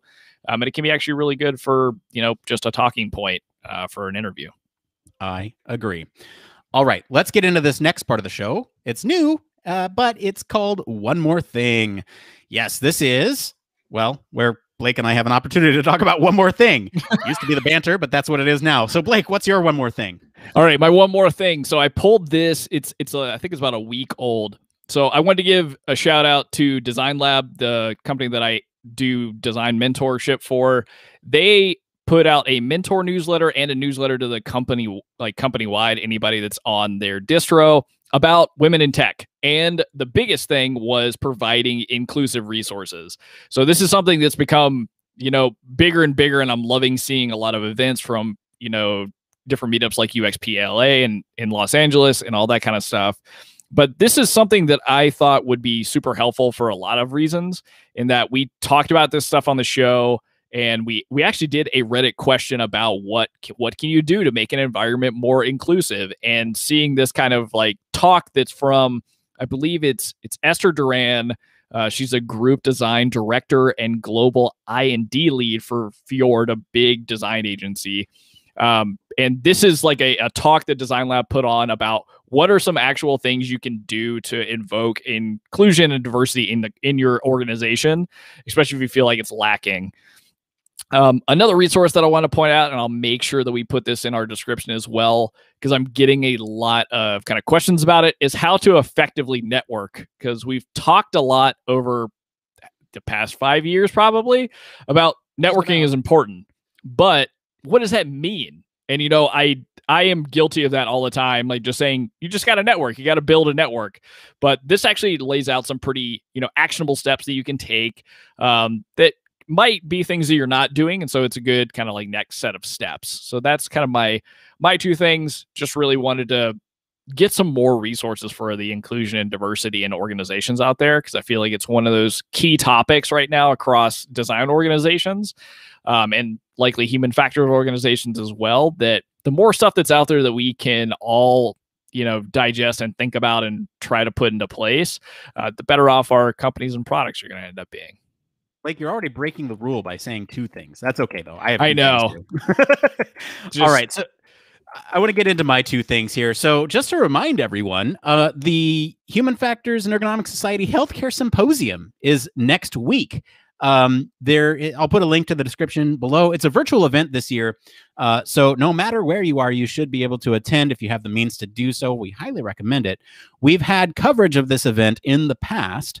Um, and has always been a ton of fun. This is kind of late and breaking, so it might not, ha- may or may not happen, but we might actually be able to provide some coverage of it this year. We'll see. Stay tuned. Uh, check us out on social. We'll we'll let you know.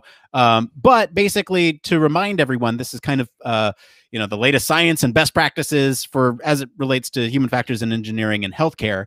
Um, it's a great opportunity to network with other folks uh, and and you know not just human factors practitioners. I, I remember you and Elise actually went to this one year, and it was um, it was one of those things where it's not just human factors folks going to these things. It's you know medical device companies, biomedical engineers, healthcare providers, FDA representatives, patient safety researchers, tons of different roles from across the spectrum that allow you to network outside of human factors, right? Human factors in engineering, or sorry, human factors in ergonomic society. The conference is very much focused on us as human factors practitioners, but this type of event is interesting because you can network with a bunch of different uh, domains. And so, um, again, that's next week. Uh, and kind of my second thing is um, you know, in honor of this event being next week, we've made our first ever Human Factors Minute uh, that we produced well over a year ago for the healthcare symposium. We actually made this free to everyone, so we'll put a link in the description below so you can see what Human Factors Minute is and as it relates to the healthcare symposium. So if you want to hear a little bit more about that, um, yeah, I think that's it. Awesome. Love it. Uh, yeah, that's it for today, everyone. Let us know what you guys think of the news story this week. Uh, you can hang out with us on our Slack or Discord or get to us on any of our social channels. You can visit our official website or sign up for our newsletter to stay up to date with all the latest human factors news. If you like what you hear, you want to support the show, there's a couple things you can do. One, leave us a five star review. We love those. Two, tell your friends about us. Um, the word of mouth is really helpful. Or three, if you're able, consider supporting us on Patreon.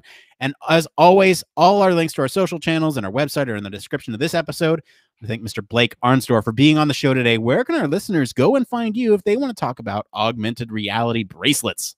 So yeah, I yet again have one more thing. So you can always hang out with me in the Discord or the Slack for Human Factors Cast. You can find me across social media at Don't Panic UX, but you can also come hang out with me on Twitch on Sundays as I go through things like building a portfolio, I'm going to shift the office hours to 9:30 PST. So come hang out on Twitch. That's twitch.tv slash human factors cast. Um, and at 9:30 PST this Sunday. As for me, I've been your host, Nick Roome. You can find me streaming on Twitch Tuesdays at 11 Pacific a.m. for office hours and across social media at Nick underscore Roome. Thanks again for tuning in to Human Factors Cast. Until next time, It depends. It depends. All right, if you're on the stream with us, stick around. We're going to do a post show here. Weekend at Posties. Yeah, weekend at Posties. Cool. All right. I kind of like the banter at the end there. It's like once we get through the important stuff, it's like we can kind of relax a little bit. yeah. My brain was oh. really confused. I was like, what what do we how is there more show? And then I looked at the time. There's plenty of more show. What are you talking about? Yeah. So so just to let you know, and on the secret Blake, my personal target for our news stories is anywhere from 25 to 30 minutes. Yeah. Um, gotcha. Uh as we're recording these episodes. Um and then I feel like we fill uh, the the it came from section until like 50. So we got a good chunk of like 30 minutes and then 20 minutes and then our one more thing will be the last 10. And that way it kind of controls us from going on too rambly at the end. yeah. Know? Because uh, God knows I could ramble yeah, because we've definitely had those days where we banter for like 20 minutes and it's like, well, I don't 20 minutes to get to the news. Come on. Yeah, who's definitely fast forwarding on those? Uh-huh. Uh, yeah. Okay, cool. Yeah. Love it. Yeah, let's see here. You get any more chats? No, not yet. All right. Um, so this is the post show. You wanted to know how to do some things, Blake. Yes. Um, so uh, for so- everyone watching, listening, we're thinking about cutting up the it came from section and posting it on YouTube um, as separate entities. So that way you can search them. That way we have content coming out all week. Um, and we understand that that's valuable content to some folks that, uh, you know, kind of search our show for that stuff specifically. Um, Absolutely. So you wanted to know how to do that. Now I'm going to try to do this without showing any personal information here on our Twitch channel. we'll see here. Got it. So you're just doing uh, it from Twitch. So what I'm doing is I go into Twitch. Here, let me see if I can uh, do it for you. So I can kind of see what's going on. Yeah, here I'll, I'll, share. It's fine. There's there's nothing here. This is our path to affiliate. Whatever. If Woo. if we get banned for this, then whatever. We're so really um, you can see we have some trouble. Uh, uh, let's see here. Where's our content? Here we go. So you go down to content. You go to video producer, and I'll just show you for last week's episode. So you would download. You'd come oh, over oh, here sweet. to episode 200 uh, and download it um, and then you just do the video processing, whatever you want to do on your end to make that happen. Sweet. Um, that's kind of what we're thinking. Uh, that's so a party. It's, it's, very easy to do, um, and you just clip it up into whatever. Uh, throw on any fancy things that you want to do, like an intro or outro, whatever, and and just make those three clips, and then we drop them on YouTube. Maybe one on maybe one on uh, Sunday Monday, Tuesday, Wednesday. Yeah. That Monday, way you Tuesday, have the weekend Wednesday. to produce them. Yeah, that's a good one. And then and then we drop a Monday, Tuesday, Wednesday, or maybe Monday, Wednesday, Friday. But yeah, I think that's a nice one. Right that way, yeah, because then we have something on Thursdays. Or uh, what about here? What about this Monday, Wednesday, Saturday? So uh, Saturday will be the episode from before. It's going to be weird. You'll you'll do it, schedule it, um, it won't be from the most recent week, but you know it'll be up there and available. Uh, we can make a playlist for them, so that way anyone can just go search through that playlist. Yeah, absolutely. Um, and if you want to do a little backlog, uh, we do have up through ninety seven that you can download. Um, so, so we have nothing in. Um, do it on the highlight because the highlight is just the episode. You don't have to download the full two hours of the pre-post show all that stuff. I, will go in and highlight this after it's done. Um, but you could start on episode 197, start at episode 198, then do 199 or something, uh, awesome. and then and then do 201 since we don't have the. Um, oh yeah, we didn't do it in in two. Yeah, it was just our it's just our friend saying hi. Friends um, hanging you could do it that way uh, if you need help with like a description just just link back to the original show link it to our website so that way you know if anyone wants to find it where it came from link it to our website episode um and you know full episode here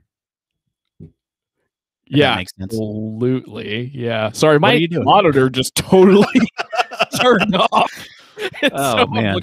what quality content. On? I've got what my laptop actually might shut down Oh boy. Well, if if uh, it does, try to hop back on. If not, I'm gonna I'm gonna go ahead and start some of this post processing here. So if you're on with me now, um, oh, I see what happened. That's hilarious. Okay, that's just my it, yeah. Uh, it's all good. My other okay. machine turned on for some oh, reason. Oh boy. Um, so that's what's going on. All right, no big deal. Let's just grab the other thing. Yeah, one more thing. Um, I like calling it one more thing too. I think it's it's like a I think it's straight. Nice. You know, I, I love it. I love it. I, am I'm, I'm gonna be fully honest. I love packing that stuff at the end. It kind of keeps us focused. It. Yeah, it gets a little more like I, am a little more pointed. Like I, I, haven't been talking for already like 15 minutes. Yeah. Um. So that's that's good. Keeps me. Okay. Oh, good. So let's share this. So I'll full full transparency here. I actually started a little bit early, which oops. No, we'll do that one. No, what's going on? This one. quality content, folks. Um, I've, Ooh, I've started actually. I hate to interrupt you, Nick. There is yeah. one thing I wanted to make sure that we know that we need to talk about, and that oh, is yes. the professional review. Yes. Uh, do we do we want to talk about that on on the post show, or do we want to talk about that post post show? Um, let's let's talk about the post post show. I don't I don't want to like break yeah. up the time. I just want to make sure we're we're cackling it both. Yeah, I saw page. that. I, I wasn't gonna leave without talking to you about that. Um, Excellent. All right. Yes cool. One of our patrons. Um, okay, so here we go. Wrist mounted wearable for HCI. So I've I've condensed it down on this one. Uh, it is it's full spelled out on our YouTube video. Um, so let's go ahead and find some images. I'm going to use the Facebook article itself because I feel like those images are what they would consider like a media kit for us to share. So I'm going to copy those. Let's see here. I'm just going to grab a couple of them. I think this one's fun. Uh, why can't I copy this image? Oh, Facebook. All oh, right. it's not for you. No image for you. I do a good job of hiding them, but we'll get them. We'll get them. Background image URL. There it is. I found the URL. So we're going to paste this in a, I know, I'm sorry I'm doing this off screen, guys. I had a lot of stuff up. I don't want you to get distracted here. Uh, we're going to copy image. Yeah. You know what? I almost feel like this is good enough. Um, I don't know if we need. I love that else. image so much. It's so cool, dude. I love yeah. it too. I want to play whatever game that is. Blew it up a little bit and uh, kind of pushed it back behind the thing, centered it a little bit, you know, so that way she is front and center. Um, and what if we oh, just? Oh no! Wait, wait, wait!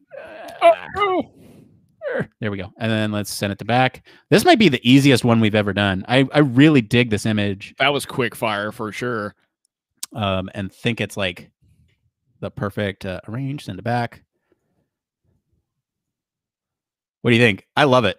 It's so fun. Wrist mounted wearable for HCI. There we go. That's like it. it. That's it, guys. That's all right. That's the show. No, uh, that's the postie. Let's see. We'll go ahead and copy this here. Um, I actually like it here too. I think this is uh, it communicates exactly what we need it to. Um, we'll send it back. I love this like giant warehouse that they're into. I don't, um, and I'll tell you why. Is because they're testing it in a vacuum. They're not testing it in a in a a real environment where it might be, um, you know, but I, I get it. You want to make sure it works first before you test it with all the other objects that could be around. Um, here, I'm going to download this. Yeah, I wonder if they got like because I could imagine. I mean, Facebook's got so much money; it's insane. I wonder if like they fill up these different spaces with random objects and stuff, or if this is just a promo shot and there's nothing being tested here at all. It's totally a promo shot. There's nothing being tested there at all um, somebody has clearly gone in and like put in these augmented oh, well, yeah. UI yeah. elements. Like it is totally a promo shot, dude. Yeah, because she's not even wearing the the glasses, right? And that's the that's right. a key thing for this whole bit. That yeah, was one thing like, I didn't see anybody doing. Well, okay, granted, we only saw the hands for other stuff, but like, there's uh, there's no augmented reality glasses. What's happening? I don't understand. Yeah, this is this is clearly a promo shot. We're gonna use it for ours. I like it enough. Um, let's see here. All right, I'm gonna go ahead and kill this. Let's see. Oh wait, that's not great. What's there? Why are we so close? What you All don't right. like being close, Blake? yeah, uh, yeah, that's hilarious. No, I'm just more close to my face. Like I'm, I'm far, I'm pushed up this way. yeah, nah, it's not a good look. Let's do that. All right, it's, um, it's not good for everybody. All right, hey, remember that thing I did last week? Uh, with the post production stuff checklist. Yeah, uh, I think we should check that out and see um what it is that we have to do. Yeah, that might be nice. yeah, that's probably a do good you, thing. Um, do you want me to, or do you want to like make a post production checklist for you to make sure that all the steps are kind of captured for the um the YouTube content? Is that something that you want to talk about? Yeah, we could do that. All right. So I'll put, uh, so at the very bottom of our show notes here, I have, uh, so I'll just do this, Nick, and then I'll do Blake down here.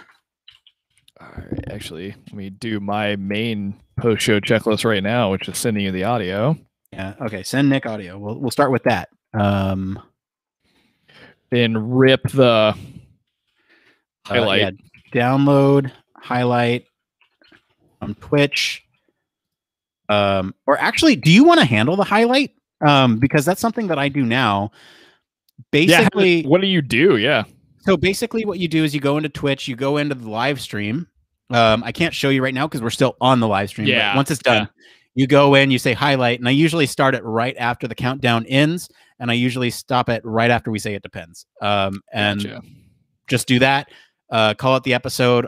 I will still add it to my list to update the um, the thumbnail and description. Don't worry about that. I got that because those are on my machine. Um, but Sweet. if you highlight it, at least then you can download it right away, like right after we're done streaming, uh, and you don't have to wait for me. Uh, um, nice. And that way, I can just come in and upload those. So I'll put I'll put you as highlight show here. I'll, oh, highlight show, download from Twitch.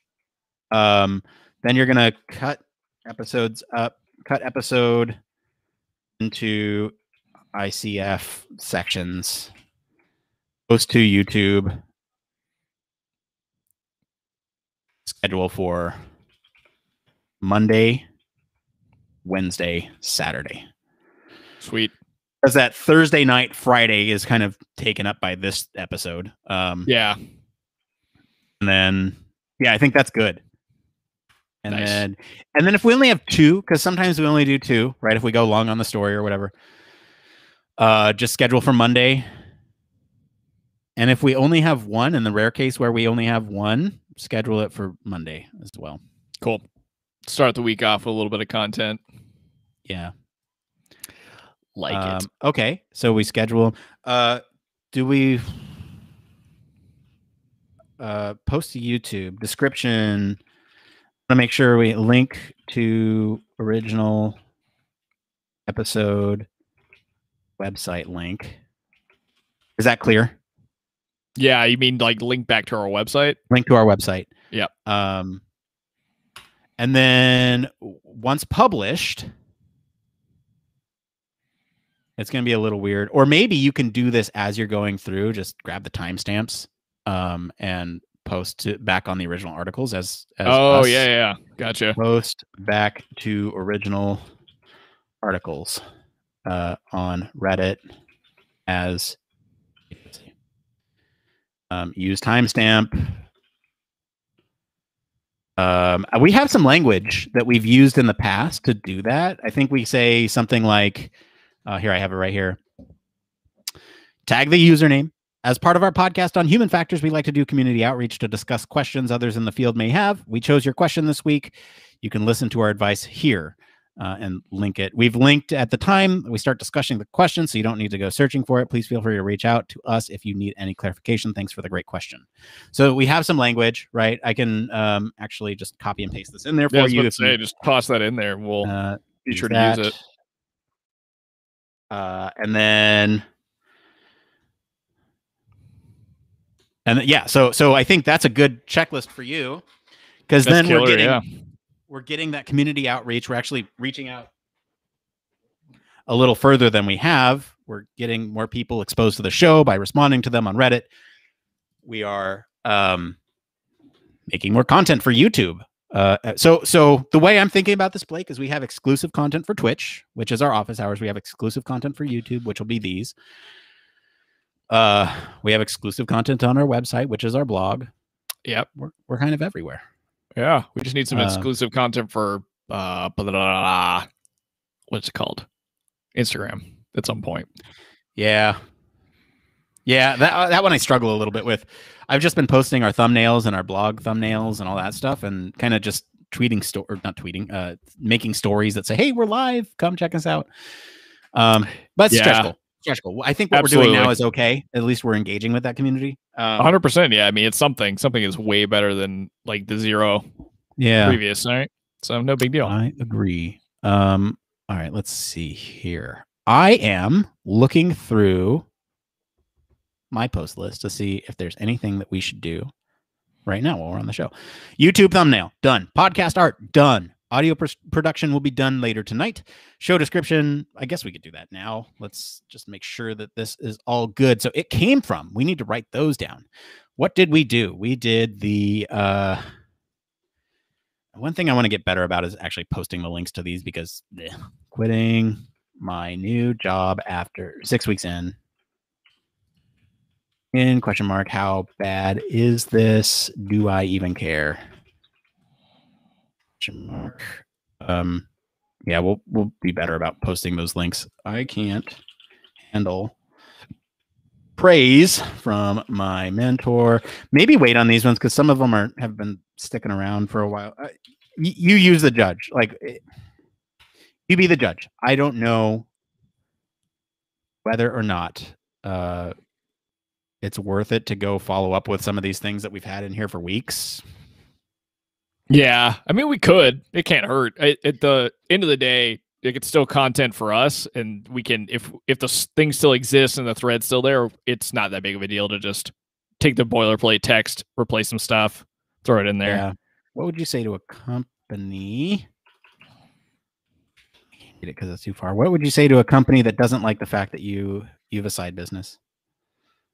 That doesn't like the fact that you've a side business. Okay, so I'm going to grab these. I'm going to post them down here in our show notes. Again, if you're hanging out with us, thank you. Um, really appreciate the live uh, the live stream folks that are hanging out with us. How do you say it's that? so much. I think you did it perfectly. I do enjoy the fact that we do have some people that, come, that seem to come pretty regularly to hang. Yeah, yeah, it's nice. Very nice.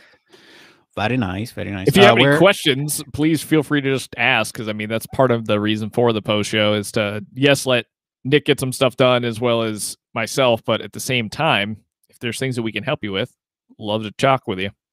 Love to talk with you. Where did I put my Bitly? There it is. This design lab link is atrocious.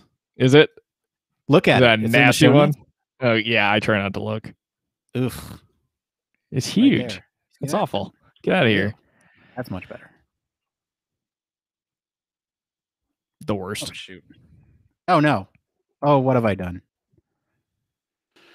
Oh geez. Okay. Putting together a podcast, folks. This is quality content. Um oh, I'm actually and after last week, I'm I'm pretty jazzed on where we're at as a podcast TBH. I think TBH. Absolutely. To be serious. To be serious. Yeah, I mean it's it's come so flipping far. It's still nuts to think about that it's 200 episodes in. 5 years in, dude. Uh that's a yeah. lot. One more thing. There it is. It's several things. um okay, I'm going to find these links. Uh, ooh, shoot. Uh, I should just search these topics and see if that was come up. Right. That's probably the. Uh, it's probably the easiest way to do it, right? Oh, geez. No, it's not. Ah, shoot. It's not. Damn it, Google. Not well, flip. Flip, flip, Philadelphia. All right, let's hold on. Where was it? Ah, oh, it was one of the recent ones too. Definitely do the quitting my job six weeks in. That one's very recent. Um, yeah. The link. And we'll see what happens when we post this link in here. If it's just atrocious or if we need to shorten it. No, I think that's fine. Oh, wait. That's not it. That's not Jeez. the thing.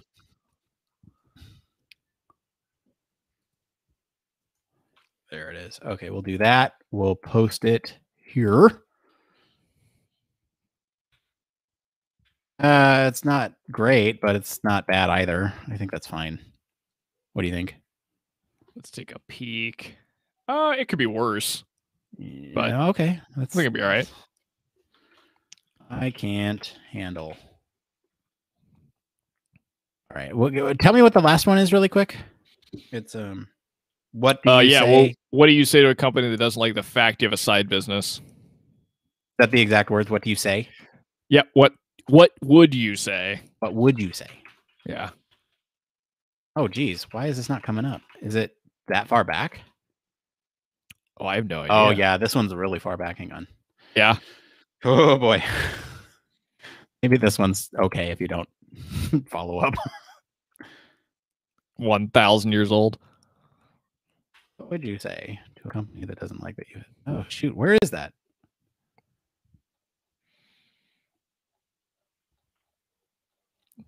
Where'd you pull it from? Was it Slack or Reddit? Or did you pull it from our Slack automation? Yeah, because it might be yeah. easier just to find it in there. That's what, that's where I'm looking. Oh shoot, that's not good. There well, it is. I found it. I found it. I found it. found it. We're good. Cool. We're good. Gonna stick the landing. Uh, okay. I need to be better about posting these links because, okay. All right. So we have the Facebook article. We have the It Came From. We have the One More Thing. We're going to go ahead and post these as what size 10. Let's just make size 10 everything. Lovely size 10s. 10.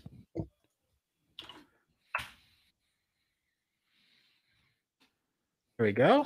I like that. Uh, recorded on April 8th. Already put some taggies in there Facebook, wearable, augmented virtual mixed reality, AR, VR, MR, XR. Beautiful. Uh, let's see. We got our things here. Yeah, thank you. All right. So now I can cross off a couple things from my list. We've done the YouTube thumbnail, the podcast art, uh, those are good to go. We have um, the well, you'll highlight the show as soon as we're done. Um, you'll download the full show. I need to still download the full show for our patrons. They get the full audio version of the show. Um, let's see. We yes. Your uh, show description that is done. So content generation is almost done. We just need to do the audio production. That'll be done later. Uh, schedule patrons choose the news weekly Q and A scheduled for Monday. Let's see if those are good. Um, so I'm gonna check on our Patreon. Patron, patrons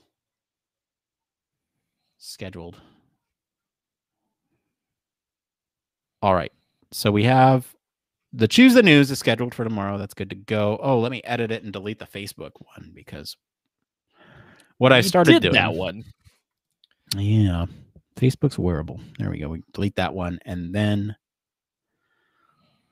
oh, Blake, the drama with the Patreon polls. Oh, what are we even going to do? so I think what's going on uh, is the fact that there are so many people that want to hear everything.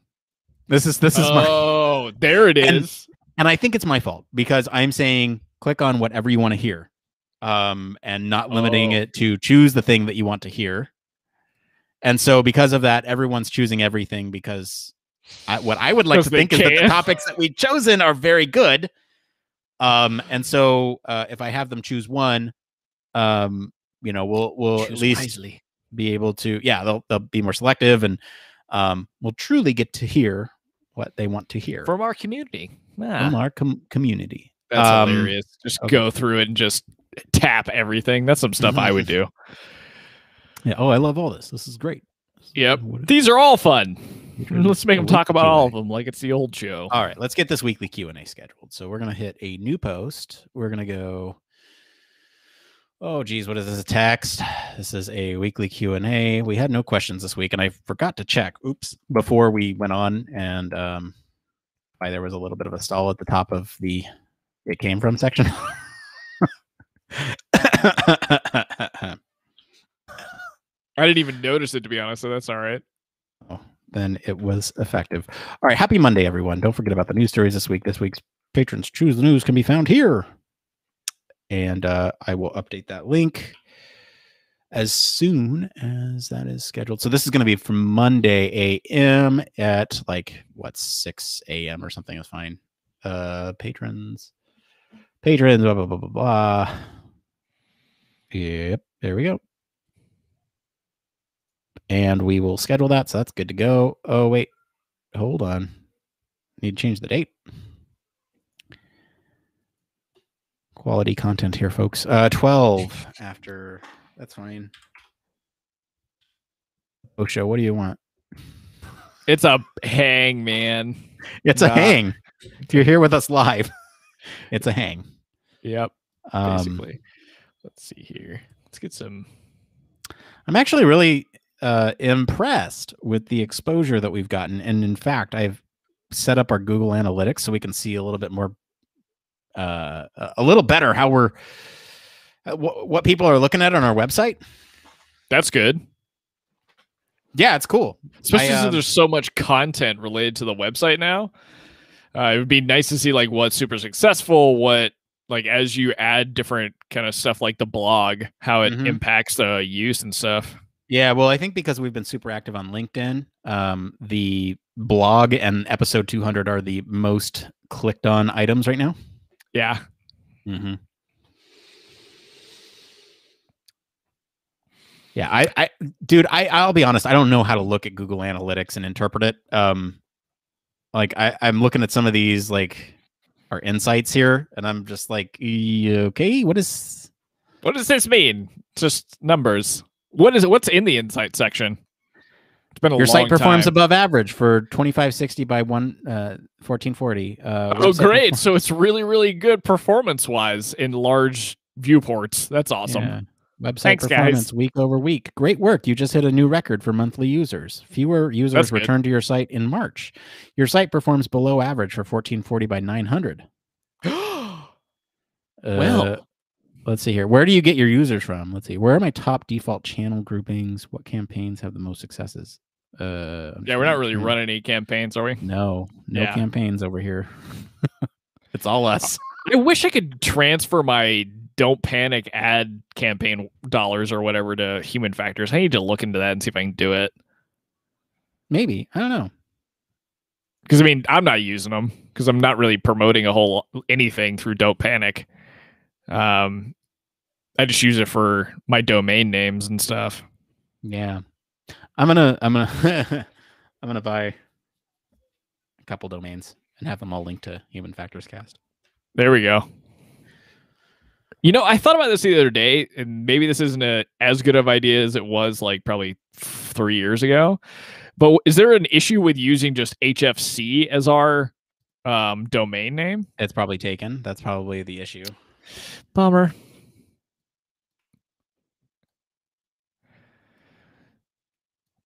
Uh, yeah, that would have been because uh. that would have been pretty sick for just use HFC for everything. Because people can remember three letters and they usually don't spell them wrong. It's hard to spell human factors cast wrong too. I but, guess there's a lot of letters in there. I can mistype things, no problem. yes, that's true. uh, Versus um, three yeah. singular letters. All right, I'm looking at this. I don't know what else we can do here. Oh, patron stuff. Uh, blah, blah, blah, where are we looking at? Uh, weekly Q and A scheduled. Scheduled. Choose the news. Yes. Okay. Cool. Um, so that's all good.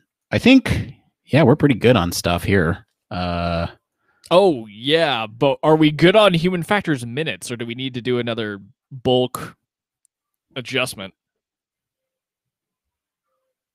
Um, let's chat after the show because we got the next year planned and, nice. and, recorded and uploaded and all that stuff. So we'll talk after the show on that one.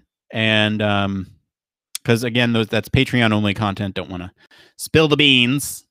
Uh, oh here. no! Uh, you know what? On that note, it's it's 29 after. I think we can go ahead and get out of here. Uh, thank you everyone for hanging out with us on the show. Uh, by the way, hfc.pizza is available as a domain name. So yes.